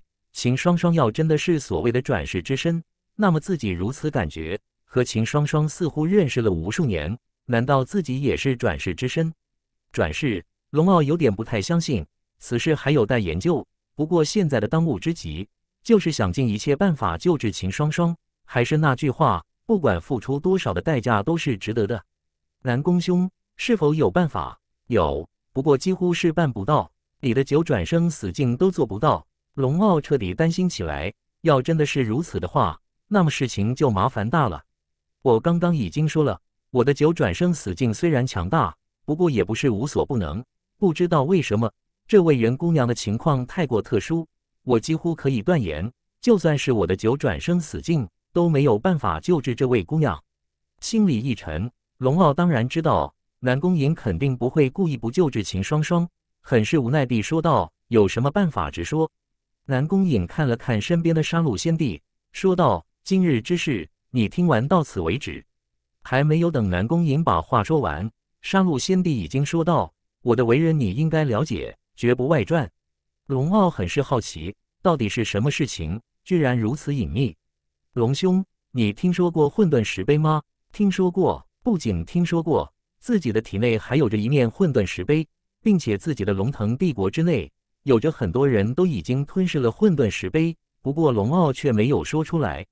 我想了很多办法，想来想去，只能想出这么一个办法，那就是吞噬混沌石碑，从而炼化混沌石碑。这样的话。也许因为混沌石碑的镇压，这位姑娘能够保住元神不灭。第两千七百九十二章东皇山，除了吞噬混沌石碑，难道就没有其他办法了？龙傲知道事情麻烦大了。要是换做以前，龙傲肯定没有丝毫的问题。自己得到那么多的混沌石碑，给秦双双吞噬一面混沌石碑，根本不是什么事情。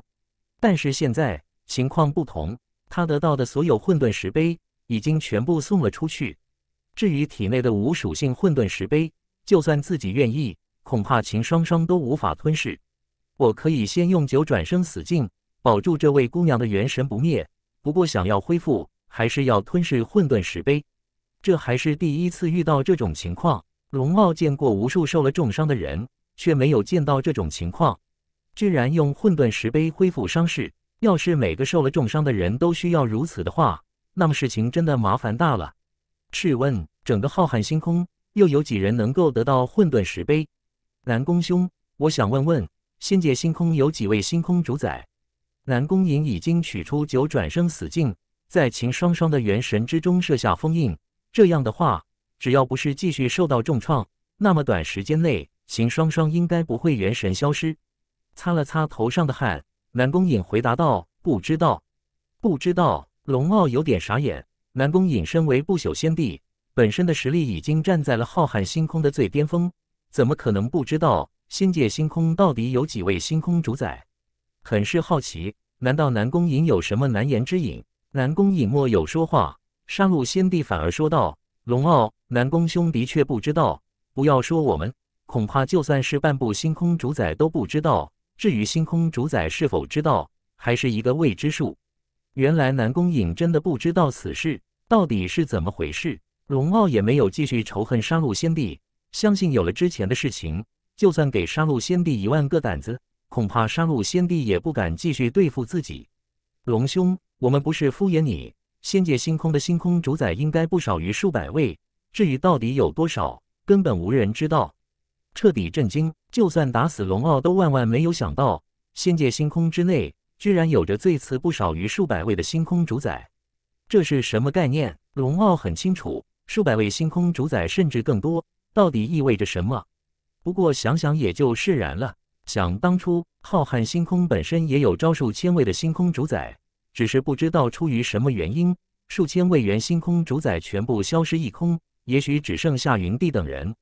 掌握混沌之力的星空主宰又有几位？没有。南宫隐说的很是肯定，龙傲没有丝毫的怀疑。不管怎么说，掌握混沌之力和没有掌握混沌之力根本就是两个概念。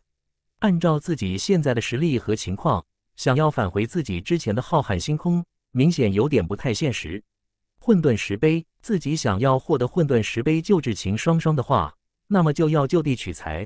不过，想要夺得一面混沌石碑，并不是一件容易的事情。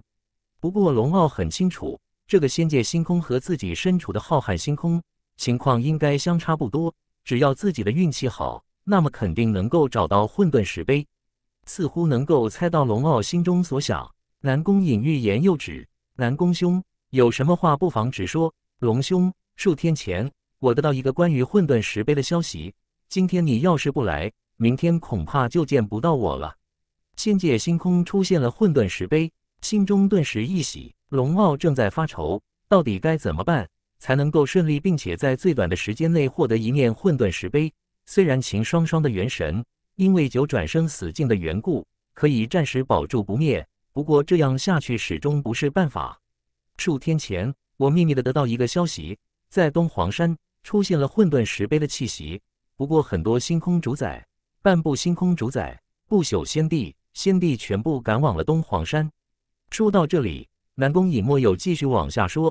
不过其中的危险，不管是龙傲还是杀戮先帝都非常清楚。立刻前往东皇山，连想都没有想，龙傲就已经决定要前往东皇山。因为对于自己来说，这是一个机会。商路先帝谭章也没有丝毫的犹豫，点点头，表示同意前往东皇山。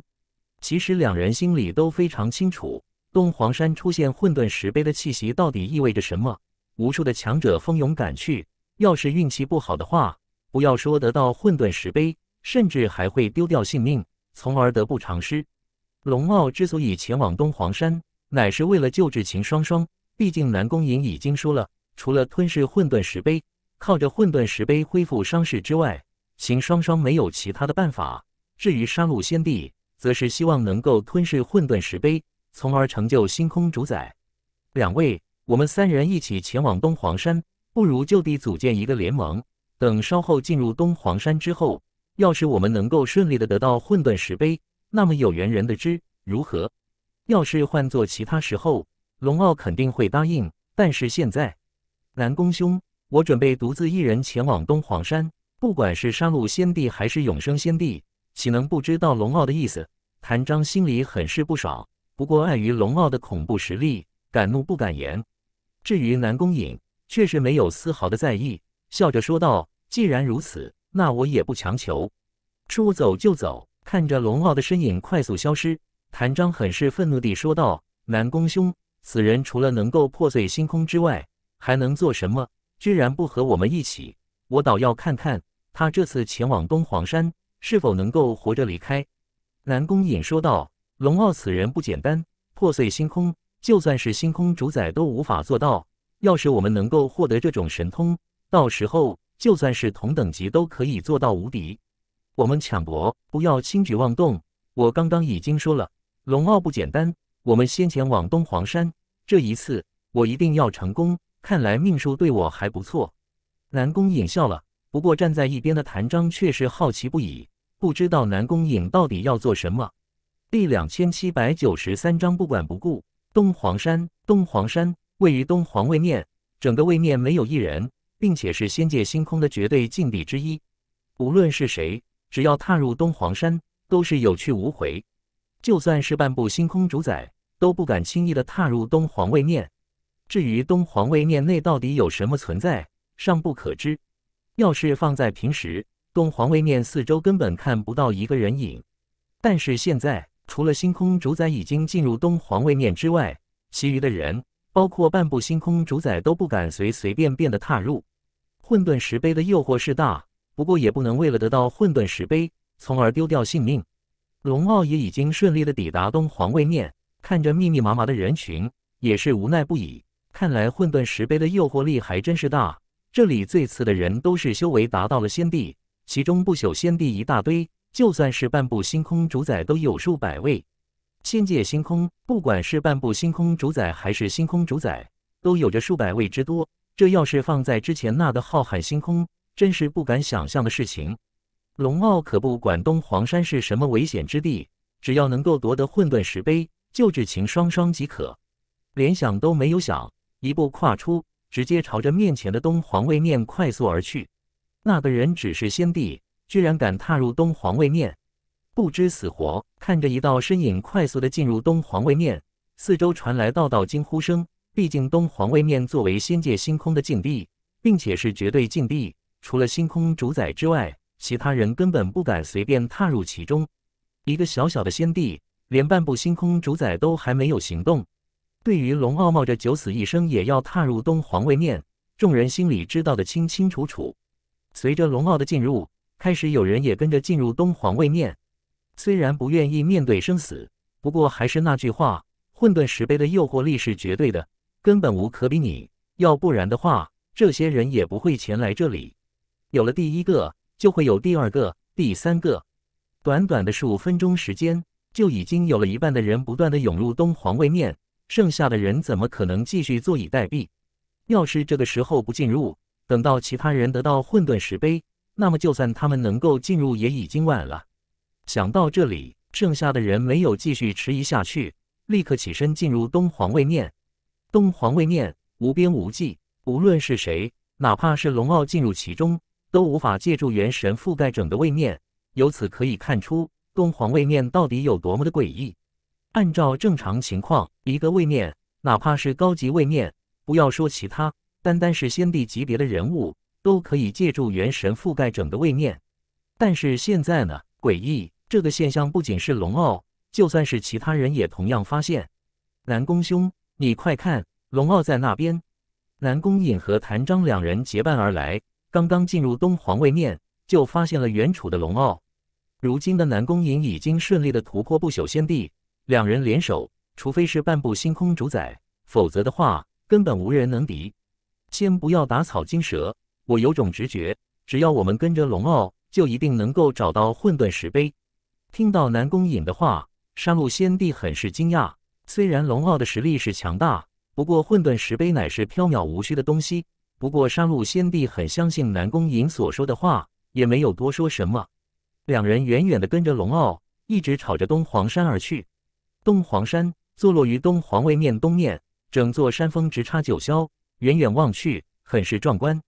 啊！龙傲刚刚抵达东皇山，正准备进入东皇山看看自己的运气。就在这个时候，面前的东皇山内不断传出凄惨的叫声，传遍整个天地，听上去格外的刺耳。听到惨叫声，准备进入东皇山的众人全部停了下来。还是那句话，混沌石碑是重要。不过和性命相比较起来，还是有点不够看。四周议论纷纷，根本不知道东皇山到底发生了什么事情。不过很快就有人发现，无数的身影从东皇山而出，一眼望去，少说也有数百人。数百人之中，个个身上都释放出强悍的气息，一看之下，就算是龙傲都有点心惊，因为他能够清晰的感应到，从东皇山出来的数百人。几乎全部都是星空主宰，这是什么概念？刚开始的时候，龙傲还不太相信，毕竟数百位星空主宰不是乱盖的。不过，当现在真正看到，龙傲算是真正见识了数百位星空主宰同时出现是什么情况。要是仙界星空和自己之前所在的那的浩瀚星空打通，想都不用想，仙界星空完全可以统治自己的浩瀚星空。毕竟，两个浩瀚星空实力根本不是一个档次的存在。东皇山到底发生了什么事情？为什么刚刚进入的数百位星空主宰要同时出来？看来东皇山不简单。不过龙傲却没有丝毫的意外。既然东皇山能够出现混沌石碑，那么本身就已经说明东皇山肯定不简单。那个人做什么？就在数百位星空主宰刚刚出来的瞬间，一道身影以最快的速度进入东皇山，根本不顾危险。不要说其他人，就算是数百位星空主宰，都是吓了一跳。不知道此人到底是不是脑子进水了？刚刚冲进去的人不是别人。正是龙傲，还是那句话，要是换做其他时候，龙傲也许会忌惮一二。毕竟连星空主宰都不得已退出东皇山，几乎可以断言东皇山肯定不是那么简单。但是现在情况已经不同，龙傲非常清楚秦双双的情况。就算有着九转生死境封印的元神，秦双双暂时不会元神消失。不过这样下去始终不是办法，自己必须得到混沌石碑。想要击杀一位星空主宰，强行夺走混沌石碑，难如登天，几乎是不可能的事情。唯一的办法就是进入东皇山。要是错过这次的机会，鬼知道等到下一次的机会需要多久。正是想到这里，龙傲才毫不犹豫地进入东皇山，不管不顾，哪怕前面是刀山火海，照样进入。第两千七百九十四章黑雾残茧。刚刚踏入东皇山，龙傲就有种不好的预感。四周一片白雾朦胧，就算是他的实力都无法看出数千米外的地方。这是什么概念？东皇山太过诡异。不过为了救治秦双双，龙傲可不管不顾，依然步步为营，靠着前方一步步走去。混沌石碑势在必得，龙傲不敢有示好的大意，小心翼翼的一步步往前走。手握混沌斧，东皇山连数百位星空主宰都能够逼出去，想想都知道意味着什么。黑雾侵蚀，龙傲终于知道为什么数百位星空主宰会被逼出东皇山。原来罪魁祸首就是四周的黑雾。刚开始的时候还没有什么，不过随着进入东皇山越来越深，四周的黑雾开始疯狂的吞噬，吞噬血肉，吞噬元神，吞噬的速度非常之快。不仅如此，龙傲发现四周的黑雾非常强悍，不要说一般人，就算是星空主宰都不可能抵挡住黑雾的吞噬。也正是因为如此，星空主宰全部退出东皇山。根据龙傲的猜测，想要抵挡住黑雾吞噬，最起码也要掌握混沌之力的星空主宰才可以做到。退，龙傲可不愿意做无谓的牺牲，立刻转身撤退。不管怎么说，先离开东皇山再说。但是结果呢？还没有等龙傲来得及撤退，四周的黑雾就已经开始疯狂的将其包裹。短短的数秒钟时间。就已经看不见龙傲的身影。这一刻，龙傲四周的黑雾就好像一个巨大的蚕茧，只能够看到黑雾不断流窜。至于龙傲，早已看不到。东皇山外，数百位星空主宰已经真正见识了黑雾侵蚀的可怕。就算是他们，要是被黑雾强行侵蚀，而不早点撤退的话，照样后果不堪设想。有了前车之鉴，没有一位星空主宰敢随随便便的继续踏入东皇山。很是着急，明明知道东皇山内有着星空主宰存在，却不敢踏入。星空主宰不敢进入东皇山，不代表其他人不敢。混沌石碑的诱惑力绝对是杠杠的。明明知道东皇山内肯定有着危险，要不然的话，众多星空主宰也不会出来。不过就算如此，还是有人不惧生死，直接踏入东皇山。很快，一声声惨叫从东皇山传出。前后还不到数分钟的时间，进入的众人就已经停止了喊叫。这意味着什么？每个人心里都非常清楚。但凡进入东皇山的人，基本上都已经死在这里。看来星空主宰能够顺利的离开东皇山，本身还是实力强大。东皇山威慑住了所有人。人群之中，南宫兄，我们现在该怎么办？杀戮先帝也很想进入东皇山。毕竟里面就有着他梦寐以求都想要得到的混沌石碑。不过之前的惨叫声依然回荡在耳边，有心无胆。对于杀戮先帝的意思，南宫颖岂能不知道？脸色同样很凝重，死死地盯着面前的东皇山，并没有回答杀戮先帝的话。很是好奇，不知道为什么，杀戮先帝总是感觉南宫颖有点不太对劲。自从龙傲踏入永生位面就是如此，尤其是来了东皇位面，越发的诡异起来。到底是怎么回事？想来想去，也想不出个所以然。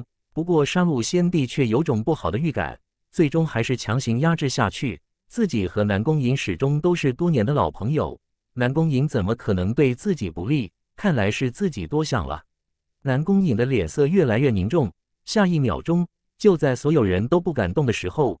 南宫颖的身体突然朝着东皇山而去，转眼间就已经消失得无影无踪。啊！先不说其他人，单单是杀戮先帝就彻底惊呆了。他刚刚就感觉南宫颖不对劲，原来是想要踏入东皇山。不过东皇山的情况已经很明显，但凡进入的人都会陨落，除了星空主宰。至于半步星空是否能够不死，至今还不知道，因为没有一位半步星空主宰踏入东皇山。南宫影到底是怎么回事？作为朋友，谭章很是担心南宫影的安危，不过最终还是忍了下来。他对自己的实力非常清楚，之前连不朽先帝都陨落在东皇山，更何况是他强行进入东皇山，只有死路一条。生死面前，就算是杀戮先帝都怕了。南宫影的速度非常之快，似乎知道东皇山是什么情况一般，手中已经出现一面镜子。正是传说之中的九转生死境。南宫颖看着四周的黑雾，自语道：“等了这么多年，终于被我等到了。这次我一定要成功。”四周的黑雾没有丝毫的客气，立刻开始侵蚀南宫颖。要是正常情况下，就算南宫颖的修为已经顺利的突破不朽先帝，照样无法抵挡住黑雾侵蚀。毕竟刚刚就有数十位的不朽先帝死在这里。不过南宫颖却没有丝毫的担心。而是手握九转生死镜，脸上写满了期待。九转生死镜上释放出黑白两种光芒，直接在南宫颖的身体四周布置出一片黑白相间的禁地，四周的黑雾根本无法靠近。心中大喜，在进来之前，就算是南宫颖都没有十足的把握，靠着自己手中的九转生死镜，就一定能够成功抵挡住黑雾侵蚀。不过猜测是对的，看着四周的黑雾被黑白光芒挡在外面。南宫影兴奋到了极点，没有丝毫的迟疑。趁着这次的机会，南宫影立刻加快脚步。不过还没有走了几步，就停了下来，死死地盯着面前的黑雾残茧，不知道这是什么东西。很是好奇，南宫影不知道面前的黑雾残茧到底是什么东西。虽然他手中拥有着九转生死镜，却依然不敢碰触黑雾残茧。鬼知道那是什么东西。南宫影的速度不减。直接绕开黑雾残茧，快速的朝着前方而去。就在南宫影刚刚离开几步，黑雾残茧已经开始疯狂的吸收四周的黑雾，吸收的速度很是恐怖。猛然回头，震惊的看着面前的黑雾残茧，到底是怎么回事？为什么好端端的黑雾残茧会突然吞噬四周的黑雾？连连后退。不过南宫影却发现，黑雾残茧吞噬四周的黑雾，黑雾根本不会继续侵蚀。第两千七百九十五章融合不可匹敌。东皇山，整个东皇山四周的黑雾被黑雾残茧疯狂的吞噬，速度越来越快。所有人都已经感应到，却还是没有一个人敢随随便便的踏入东皇山，因为没有人知道东皇山内到底发生了什么事情。黑雾残茧内，龙傲同样不知道发生了什么事情，不知道自己为什么好端端的会被黑雾裹住。连动都无法动弹分毫，很是担心。不过事情已经走到这一步，自己也无能为力。这是怎么回事？龙傲发现自己被困在黑雾残茧内，不断的吞噬着外界的黑雾。这些黑雾全部涌入自己的体内。可要知道，刚刚在外面的时候，龙傲亲身经历过黑雾的恐怖之处。就算是他都被黑雾侵蚀，甚至连星空主宰都无法抵挡住黑雾的侵蚀。如此恐怖的黑雾。如此疯狂的涌入自己的体内，到底会发生什么事情？根本不知道，无法动分毫。就算想要驱除体内的黑雾，也是有心无力。到底该怎么办？这一刻的龙傲彻底无奈了，根本不知道该怎么办。不过渐渐的，他发现事情并没有那么糟，因为要是黑雾侵蚀他的身体，那么只需要短短的十五分钟就可以做到。但是结果呢？无数的黑雾涌入龙傲的体内，开始流遍全身各处。不过黑雾并没有丝毫的逗留，就开始涌入丹田，修为再次提升，从星空不朽突破至极限星空不朽。也就是说，如今的龙傲已经顺利的恢复当初巅峰时期的实力。而这一切都要感谢黑雾，要不是黑雾涌入体内相助，鬼知道想要恢复极限星空不朽到底需要多久的时间。黑雾到底在做什么？龙傲很是惊讶，因为涌入体内的黑雾全部进入丹田，开始旋转起来，根本不知道在做什么。黑雾在丹田并没有逗留多久，紧接着就开始离开丹田，涌入九色莲花元神，彻底震惊。不过龙傲也没有多少担心，对于自己拥有的九色莲花元神，龙傲很有信心。不死元神不是乱盖的，就算是黑雾想要侵蚀九色莲花元神。都是不可能的事情，但是接下来的一幕彻底震惊了龙傲，因为无数的黑雾开始融合九色莲花元神，就算想要阻止也是不可能的事情，只能眼睁睁的看着两者融合，到底是好是坏，至今还不知道。时间快速的流逝，十天时间转眼而逝，短短的十天时间，整个东皇山的所有黑雾已经消失殆尽，全部被吸入黑雾蚕茧。严格来说，是被龙傲吸入体内，并且和九色莲花元神融合。要是被其他人知道，不知道会如何想。从头到尾，南宫影都没有离开半步，死死地盯着黑雾蚕茧，似乎已经猜到了什么，冷冷地自语道：“哼，没有想到你比我快一步。不过最终胜利的还是我。”弄叉，弄叉，弄叉。就在这个时候，黑雾蚕茧开始慢慢的碎裂，很快，整个黑雾蚕茧脱落在地。并且消失的无影无踪，狠狠地伸了一个懒腰。龙傲忍不住心中的惊喜，因为他没有想到自己的九色莲花融合黑雾之后，不仅没有丝毫的影响，反而越发的强大。元神攻击，不要说同等级的武者，就算是遇到半部星空主宰，都可以轻而易举的毁灭对方的元神。不仅如此，龙傲甚至有种感觉，自己如今的元神攻击，就算是星空主宰都不敢轻易硬碰硬。要不然的话，完全可以重创星空主宰。虽然有点扯淡，不过龙傲还是非常的肯定，也非常相信自己的直觉。不过直到此刻都不知道黑雾到底是什么东西，为什么好端端的要融合自己的元神？想不通就不想，因为龙傲知道有些事情到了那个时候，自然而然的就会解开，何必继续纠结下去？一点用处都没有，除了浪费时间。南宫兄。你也在这里，龙傲几乎可以断言，除了自己之外，根本没有人敢踏入东皇山一步。除了众多星空主宰被逼出之外，还有就是进入东皇山的人全部死了。就算混沌石碑的诱惑强大，也没有人愿意用性命去抢夺。正是如此，龙傲才非常的好奇，其他人都不敢随随便便的踏入东皇山，唯独南宫隐敢，并且毫发无损的站在自己的面前。这是第一次。龙傲发现南宫影并没有想象之中的那般简单，给人一种看不透的感觉。这也是龙傲真正开始忌惮南宫影。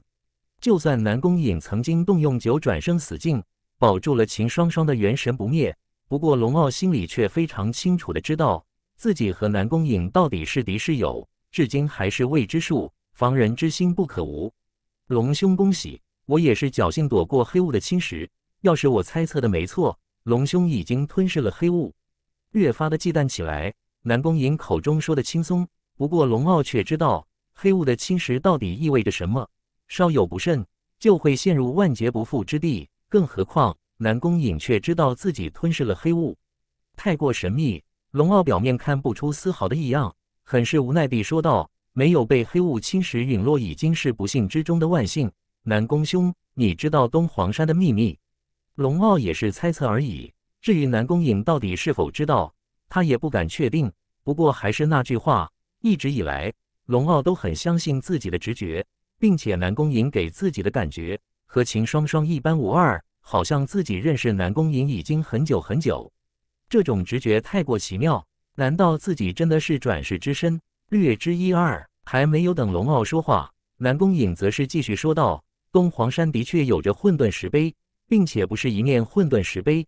不过龙傲，我想和你做个交易，如何？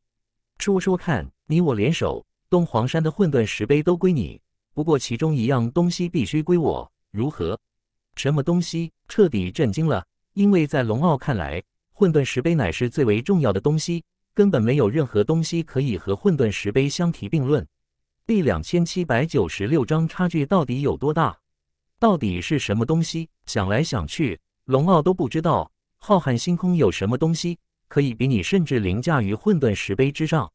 直觉告诉龙傲，南宫影所要得到的东西绝对不简单，还是想不通，居然可以放弃所有的混沌石碑，真是不可思议。龙兄，恕我不能如实相告。似乎怕龙傲不愿意，南宫影继续说道：“我要的这件东西。”对我非常的重要，超越任何东西。不过这件东西对于你来说却是一文不值。成交，不管这件东西如何，反正如今的情况，龙傲只知道一件事，那就是混沌石碑对自己实在太重要了。不要说多面混沌石碑，就算是一面混沌石碑，龙傲都不会有丝毫的犹豫。至于另外一件事，龙傲几乎可以断言，南宫瀛选择放弃混沌石碑，要是不出意外的话。南宫瀛本身肯定拥有着一面混沌石碑，这是毫无疑问的事情。深藏不露，恐怕除了自己之外，仙界星空知道南宫影拥有混沌石碑的人少之又少。既然如此，那我们尽快的得到各自需要的东西。好，东皇山无边无际，就算是龙傲的元神都无法覆盖整个东皇山。随着龙傲吞噬了所有的黑雾，外面的人已经可以进入东皇山。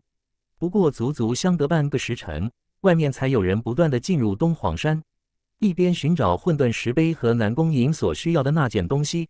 龙傲不知道是故意问还是随便问。南宫兄，恕我冒昧的问一句，你是不是之前认识我？虽然感觉有点扯淡，不过不知道为什么，龙傲就是有这种感觉，似乎南宫影好像认识自己一般。之前还不强烈，不过随着进入东皇山。龙傲发现这种直觉越来越强烈，南宫影则是笑了笑，说道：“认识，果真认识。看来自己猜测的不错，不仅是南宫隐是转世之身，就算是自己很有可能转世之身。我们不仅认识。”说到这里，南宫隐并没有继续往下说，只是笑了笑，笑得很是诡异。南宫兄，有什么话不妨直说。龙兄，我想问你一句，我们日后会不会成为敌人？这个问题还真是不好回答，因为就算是龙傲都不敢确定自己和南宫隐日后到底是敌是友。我们日后会成为朋友吗？哈哈哈，是敌是友，又有几人能够说得清楚？南宫隐并没有正面回答龙傲的问题，不过越是如此，龙傲越是忌惮南宫隐。龙兄，命数使然，不知道这一次我是否能够成功？哎，这是什么意思？走吧。南宫隐明显不想多说，龙傲也没有多问，因为他知道，就算自己问了也是白问。要是南宫隐自己想说的话，那么根本无需自己多问，南宫隐也会说。两人尽量的避开众人，毕竟他们两人都是不朽先帝，也就是所谓的极限星空不朽。一旦遇到星空主宰，那么事情就麻烦大了。永生先帝看着左侧方向快速而来的三人，南宫隐的脸色瞬间变得阴沉起来。哼，只是重重的冷哼一声，南宫颖却没有多说什么。不过龙傲只要看一眼，就已经知道双方肯定有仇。南宫颖，当初我们想要借助你的九转生死境救我们的兄弟一把，你却不同意，这笔账我们今天是不是该算算了？三人之前都是先帝，本来是死兄弟，不过其中一人已经陨落，而当初要是南宫颖借助九转生死境救治的话。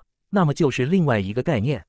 当初的三人虽然都是先帝，不过就算联手也不是南宫颖的敌手。万般无奈之下，三人立刻游走整个仙界星空，希望能够找到秘境或者混沌石碑。因为一旦成就半部星空主宰或者是星空主宰，那么就可以轻而易举的报仇，并且灭杀南宫颖。不得不承认，三人的运气还真是不错。数十年前，终于各自得到一枚秘境。并且顺利的炼化成就半部星空主宰。数个月前刚刚报仇雪恨，正当三人准备前往永生位面，击杀永生先帝的时候，突然听说了关于东皇山的消息，立刻赶了过来。因为在三人看来，他们的实力已经足以灭杀永生先帝，早去和晚去根本没有什么两样。而混沌石碑这样千载难逢的机会，却不是时时刻刻都有。只是让三人万万没有想到的是，他们这次前来东皇山，居然遇到了永生先帝。这样的话，在寻找混沌石碑的情况下，出手灭了永生先帝，省得到时候再去一趟永生位面。南宫颖，当初你害得我兄弟陨落，今日我就让你下去陪他。嘲讽的笑了笑，南宫颖声音极其冰冷地说道：“胡搅蛮缠。”既然如此的话，那我也无需客气。不要以为你们三人成就半部星空主宰，就可以在我面前耀武扬威。秘境只不过也是星空神器罢了，半步星空主宰，当真是可笑之极。龙傲没有说话，因为直觉告诉他，这个南宫影肯定没有表面看上去那般简单。就比如自己，虽然也只是极限星空不朽，不过自己的实力却要远远凌驾于半步星空主宰之上。也就是说，如今的自己，就算是想要击杀半步星空主宰，也不是什么难事。难道南宫影和自己一般？哈哈哈哈哈哈哈哈哈哈哈哈！三人疯狂的大笑起来。见过狂妄的，却没有见过这般狂妄的。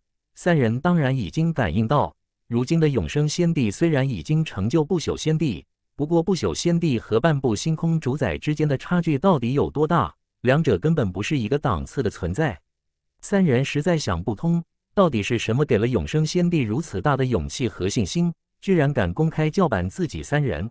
南宫颖，我今天就让你知道知道，半部星空主宰和不朽先帝之间的差距到底有多大。我也会让你知道，就算成就半部星空主宰也没有什么了不起。第两千七百九十七章瞬间毁灭秘境。南宫影根本没有丝毫的惧意，哪怕面对的是三位半部星空主宰。如今的李家兄弟三人根本没有将永生先帝放在眼里，开什么玩笑！一个小小的不朽先帝想要抗衡半部星空主宰，简直就是痴人说梦。不要说三人联手，就算是随随便便的出来一人，都可以轻而易举的搞定对方。林家老三已经红了眼，当初永生先帝给他们的侮辱历历在目，等了这么多年，等的就是这一天。死！李家老三动用秘境。刚刚上来就是最为疯狂的攻击，龙傲没有出手，他也很想看看南宫影的真实实力到底如何。南宫影绝对不简单。果不其然，南宫颖手中突然出现了九转生死镜，冷哼一声：“夜郎自大。”南宫颖冷哼一声，手中的九转生死镜已经开始释放出黑白两道光芒。震惊的一幕发生：李家老三的攻击只要碰触到黑白光芒，立刻消失的无影无踪。就好像鸡蛋碰石头，如此的不堪一击。啊，这是怎么回事？所有人看着南宫瀛手中的九转生死镜，都彻底傻眼了。这样的星空神器未免太过恐怖。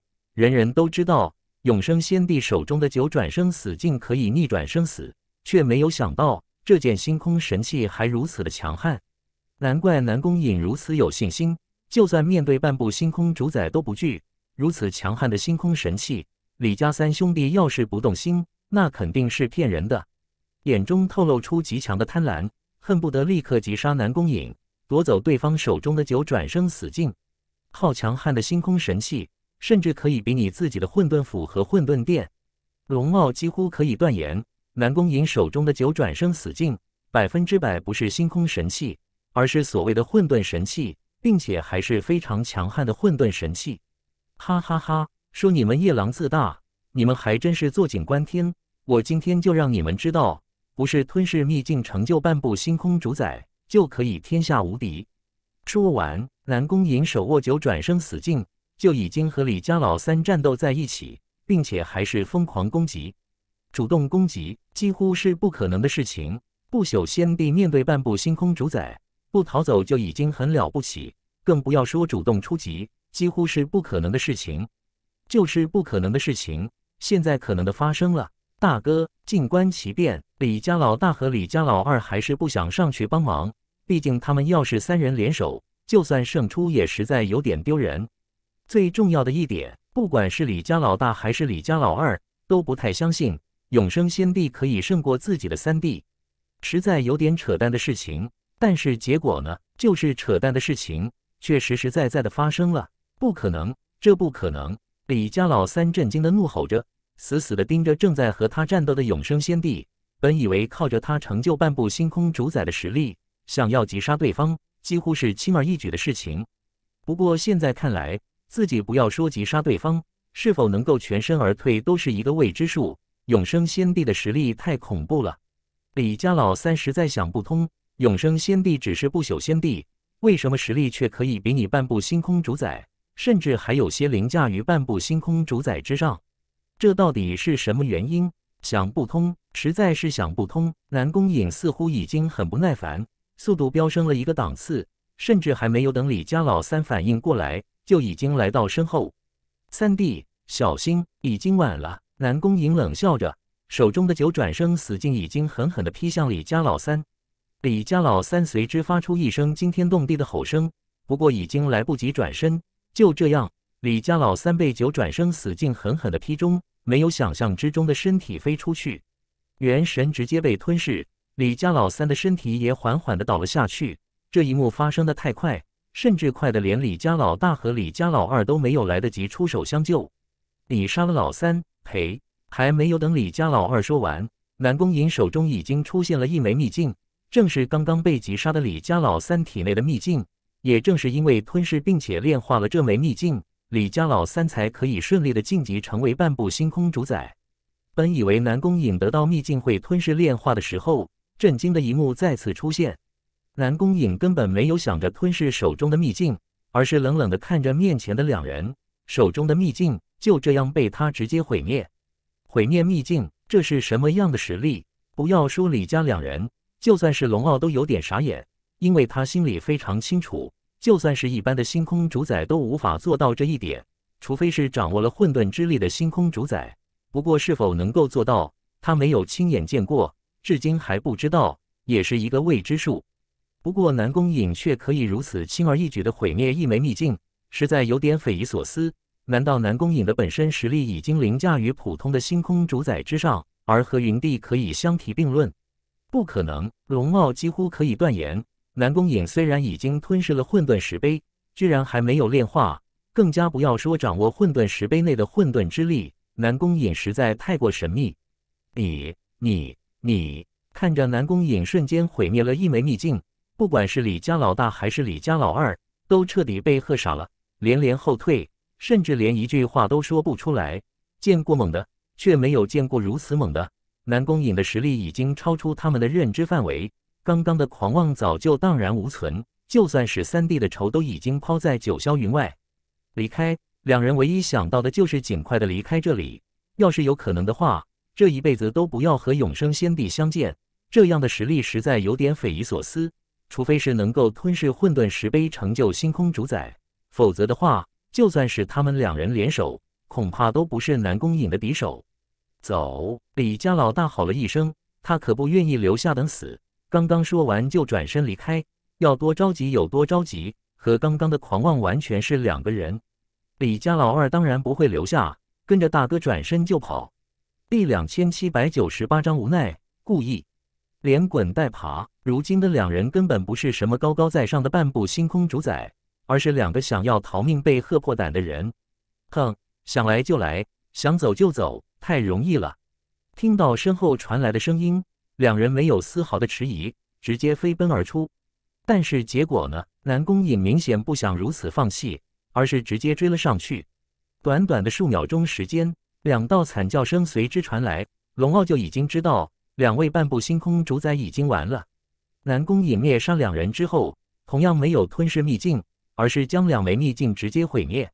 如此实力。堪称星空主宰之下第一人，龙傲心里非常清楚，就算是自己，外加动用混沌斧，恐怕都不是南宫影的敌手。这样的实力已经无限接近于星空主宰，太过恐怖。要不是亲眼所见，就算是龙傲都不愿意相信还有人能够做到这一点。南宫影，你还真是深藏不露，如此轻易击杀三位半部星空主宰，星空主宰之下第一人非你莫属。南宫影却是无所谓的笑了笑：“龙兄，你无需妄自菲薄。以你的实力，毁灭半部星空主宰要比我更加轻松。真正的星空主宰之下第一人应该是你，而不是我。自己根本没有出手，南宫影却知道自己的实力。龙傲发现自己的一切，南宫影似乎都可以看透一般。南宫影到底是什么人？看到龙傲不说话，南宫影却是笑了笑，说道：“龙兄，走吧。”看到南宫影不想多说，龙傲只是笑了笑，跟着南宫影继续前行。这边的战斗，很多人都已经听到，不过却没有一个人敢过来。半部星空主宰的气息，除非是星空主宰，否则就算是半部星空主宰都不愿意去找麻烦，完全是开玩笑的事情。这种情况下招惹半部星空主宰，除非是吃饱撑着没事做。龙傲和南宫影尽量的避开星空主宰，毕竟两人都很清楚各自的实力情况。就算他们各自能够灭杀半部星空主宰，不过面对星空主宰，确实没有办法抗衡。南宫兄，不知道你要找的东西到底在何处？渐渐地，龙傲开始发现南宫影似乎在带着自己绕圈子。虽然感觉自己很有可能是多想了，不过在这种情况下，自己必须小心、小心再小心。直到此刻，龙傲都不知道自己和南宫影到底是敌是友。笑了笑，南宫影很是无奈地说道：“我要找的东西太过诡异，除非是运气好，否则的话，我们很难得到它。”从头到尾，南宫影都没有说出他要找的到底是什么东西。龙傲却不想继续这样下去。他这次进入东皇山，甚至是冒着九死一生的危险，也要踏入东皇山，为的就是顺利的得到混沌石碑。可以这样说，南宫影可以等，他却连一秒钟都不愿意继续等下去。拖延的时间越久，对秦双双越是不利。南宫兄，不如你我各自分开，寻找各自想要的东西，如何？对于龙傲话中的意思，南宫影岂能不知道？也没有丝毫的多想，点点头说道。如此也可以，不过你要小心，要是遇到星空主宰，不要硬碰硬。嗯，龙傲也没有继续迟疑下去，立刻转身快速的离去。看着已经消失的身影，南宫影的脸色渐渐阴冷下来，冷冷地说道：“曾经无法做到的事情，我会让你加倍换回来。”秦双双，要是龙傲听到南宫影的自语，不知道会如何想。东皇山无边无际。就算有着数十万的修仙者踏入，也好像滴滴水融入大海之中。要不是亲身经历的踏入东皇山，很难想象一个位面的一座山峰居然别有洞天。龙傲不敢浪费丝毫的时间，因为时间对于自己，严格来说是对于秦双双来说，时间就是生命。龙傲心里已经着急到了极点，不知道为什么，不知不觉之中，秦双双在龙傲心中的地位。已经可以比拟与鹰等人，就算是龙傲自己都说不出个一二三。混沌石碑，自己必须在最短的时间内找出混沌石碑。龙傲甚至已经决定，要是无法找出混沌石碑，那么就算击杀星空主宰，强行夺得混沌石碑也在所不惜。明知不可为，也必须为之。龙傲当然很清楚，以自己的实力，当然不可能是星空主宰的敌手。不过为了秦双双。就算是九死一生，也在所不惜。要是放在平常时刻，龙傲肯定不会如此的张扬。毕竟，要是被其他人知道自己拥有混沌石碑的话，那么后果不堪设想。不过现在，龙傲已经管不了那么多。无属性混沌石碑漂浮在龙傲的面前，瞬间释放出恐怖的气息，蔓延而出。就算无法覆盖整个东皇山，但是能够覆盖多少算多少。正在寻找混沌石碑的众人。突然感应到混沌气息，一个个惊喜不已，立刻朝着龙傲的方向快速而来。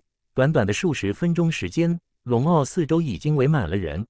这是什么情况？看着龙傲面前漂浮的混沌石碑，所有人几乎可以断言，此人的运气居然如此好，竟然能够在如此短的时间内就寻找到一面混沌石碑。不仅如此，很多人都已经认出面前此人。就是之前不惧生死踏入东皇山的人，真是万万没有想到，此人不仅没有陨落，反而顺利的得到混沌石碑。毫无疑问，看到龙傲面前漂浮的混沌石碑，很多人一涌而上。不过，所有的星空主宰却没有一个人动，一个个脸色凝重的看着此人，因为他们想不通，既然此人已经得到混沌石碑，按照正常情况，应该找个隐蔽的地方炼化才对。结果却是，此人肆无忌惮的在这里炼化混沌石碑，是无奈还是故意如此？此人要真是故意的话，那么又是为了什么？所有的星空主宰都不敢轻举妄动。不过其他人明明知道此事很是蹊跷，还是毅然决然的出手，为的就是能够顺利的得到混沌石碑，从而成就星空主宰。第两千七百九十九章裂缝吞噬。龙傲根本无视四周所有人，既然敢释放混沌石碑，龙傲就已经猜到会是这个结果。只有靠着无属性混沌石碑，才能够感应到东皇山的其他混沌位面。为了秦双双，就算面对危险也是值得的。对于秦双双，龙傲越发的不一样起来，感觉很是特别。龙傲没有去管其他人，因为要是换做其他的混沌石碑，就算无法吞噬，也可以随便的碰触。大不了混沌石碑自行离开，唯独自己拥有的无属性混沌石碑，除了自己之外，其他人要是敢碰触无属性混沌石碑，只有一个结果，那就是被混沌石碑直接吞噬。这就是无属性混沌石碑的恐怖之处。既然你们想死，自己也绝对不会拦着。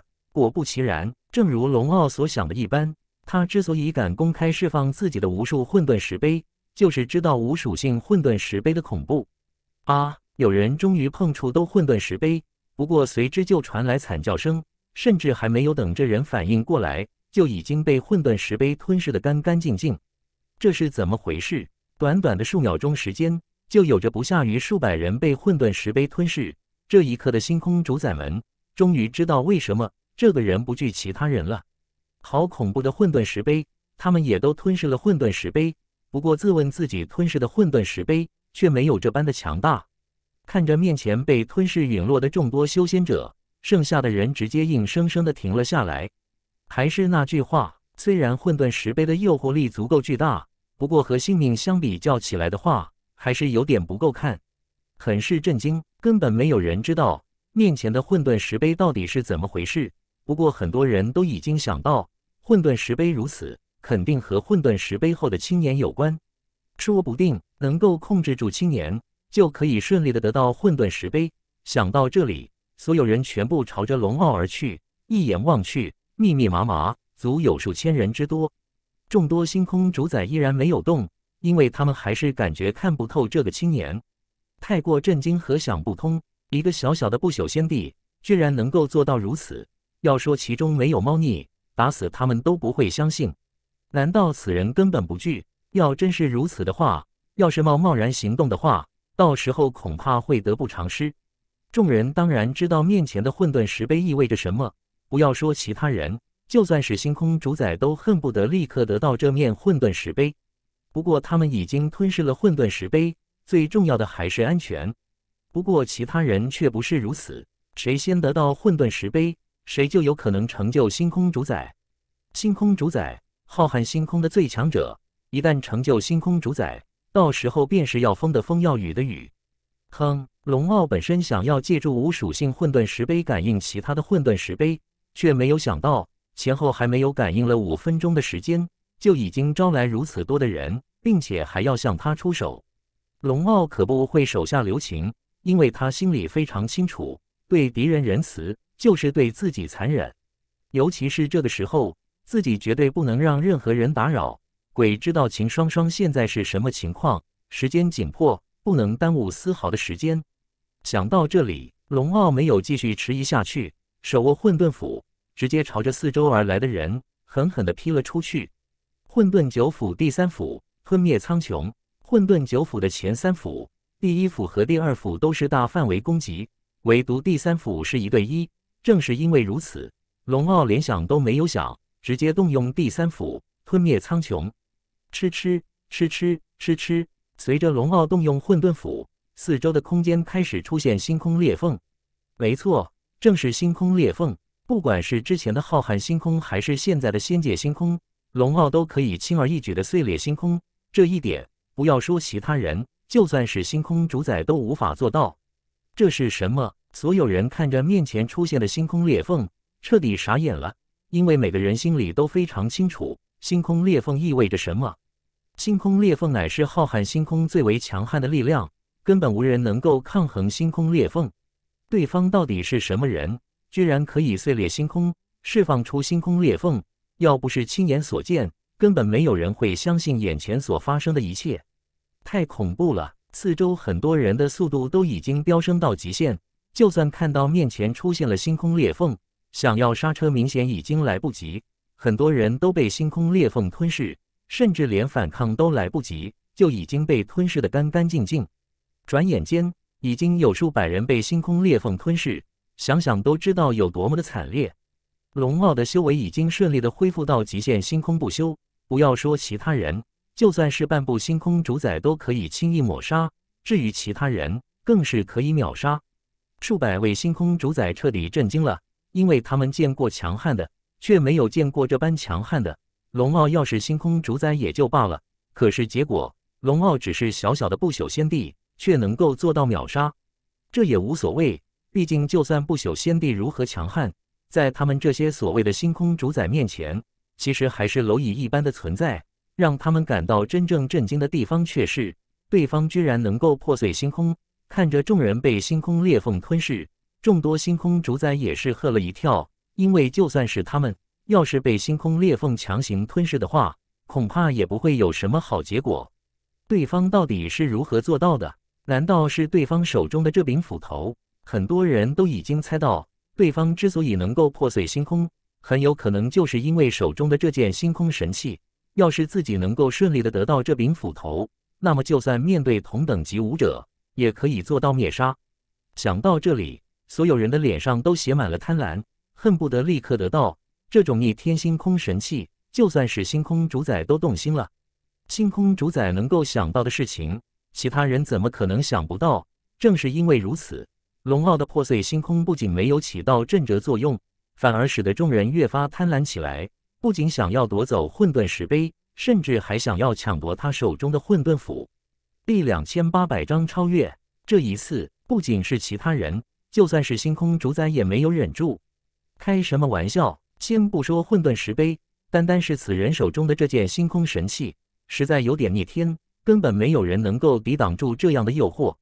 数百位星空主宰同时出手，刚刚出手的那些人自觉的停手。不管是混沌石碑还是星空神器，有多大的诱惑，和性命比较起来根本不够看。龙傲的脸色也难堪到了极点，因为他已经想到肯定会有星空主宰会出手，却没有想到一下子数百位星空主宰出手，这是何等的壮观！其实龙傲完全猜错了，要是单单的混沌石碑，相信有很多的星空主宰不会立刻出手，毕竟龙傲太过诡异。但是现在。情况已经彻底不同，龙傲手中的星空神器已经超出了所有人的认知范围。这种破碎星空的神通，就算是星空主宰都无法做到。可以这样说，要是在混沌石碑和这件星空神器之间选择的话，那么所有的星空主宰都会毫不犹豫地选择这件星空神器，从而选择放弃混沌石碑。原因很简单，不管是哪一位星空主宰，本身都已经吞噬了混沌石碑。这次之所以前来，为的就是能够得到更多的混沌石碑，从而打造出属于自己的下属星空主宰。不过，如此逆天的星空神器，却是可以直接加强自身的实力，这比再次得到混沌石碑有用的多。没有人是傻子，当然知道会如何选择。龙傲也很快想出事情的根本，暗叹一声自己太过大意。要是正常击杀，那么星空主宰们肯定不会贸贸然出手。不过事情已经发生，他也没有丝毫的后悔。想要对付自己，龙傲根本没有丝毫的害怕。下一秒钟就已经消失的无影无踪，连带着混沌石碑都已经消失不见。啊！对方和混沌石碑都不见了。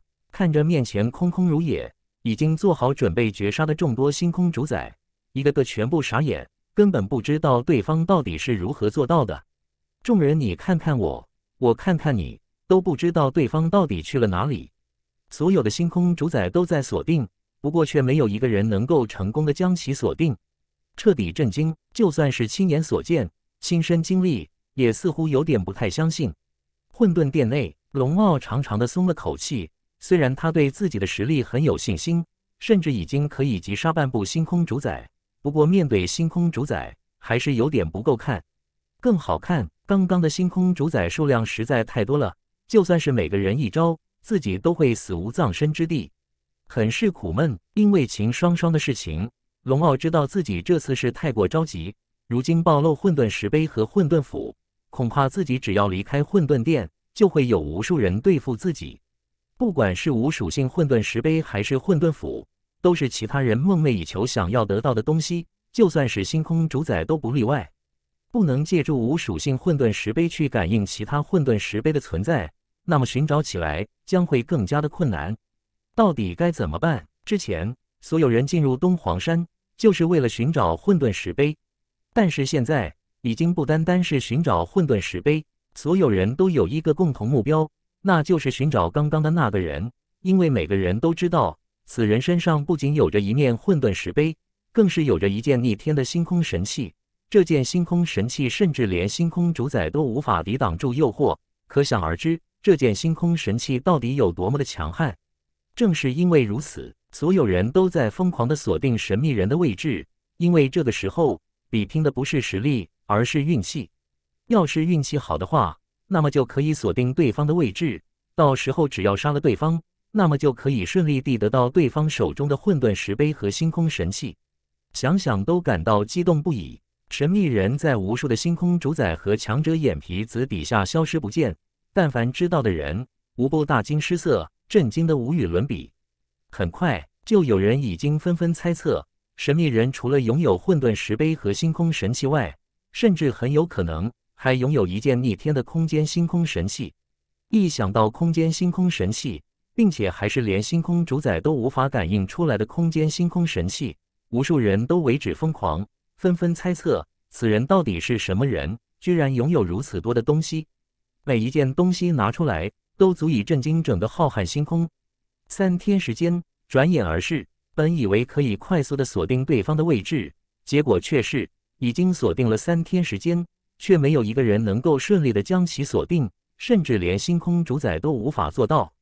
得出的结论就是，神秘人手中的这件逆天空间星空神器太过强悍。其实龙傲已经出来，不过有意的躲过所有人。东皇山无边无际。要是龙傲有意为之的话，同样很难有人发现他的踪迹。不过龙傲却不敢继续动用无属性混沌石碑去感应东皇山的混沌石碑，这样的话，想要找到混沌石碑，实在有点太过困难。东皇山一处极其隐蔽的山洞内，龙傲看着怀里的秦双双，不知道为什么，他总是感觉秦双双和自己的关系不简单，似乎认识了无数年，并且看着怀里秦双双的脸色。很是心痛，甚至要超越他和雨音等人的情感。吓了一跳，龙傲心里非常清楚，众女之中，他最爱的一个便是雨音，毕竟雨音是他的第一个女人。不过看着秦双双，龙傲却发现自己最爱的是秦双双，这到底是怎么回事？自己只是刚刚认识秦双双，前后还不到数天时间，到底是怎么回事？难道自己和秦双双都是转世之身？并且前一世的关系不简单，除了这个解释之外，他实在想不出其他的理由。不过秦双双和自己到底是什么关系，龙傲却不知道。想要搞清楚，看来不是那么简单。如今唯一要做的只有一件事，那就是想尽一切办法寻找到一面混沌石碑，从而治好秦双双的伤势。想想简单，真正做起来却是困难重重。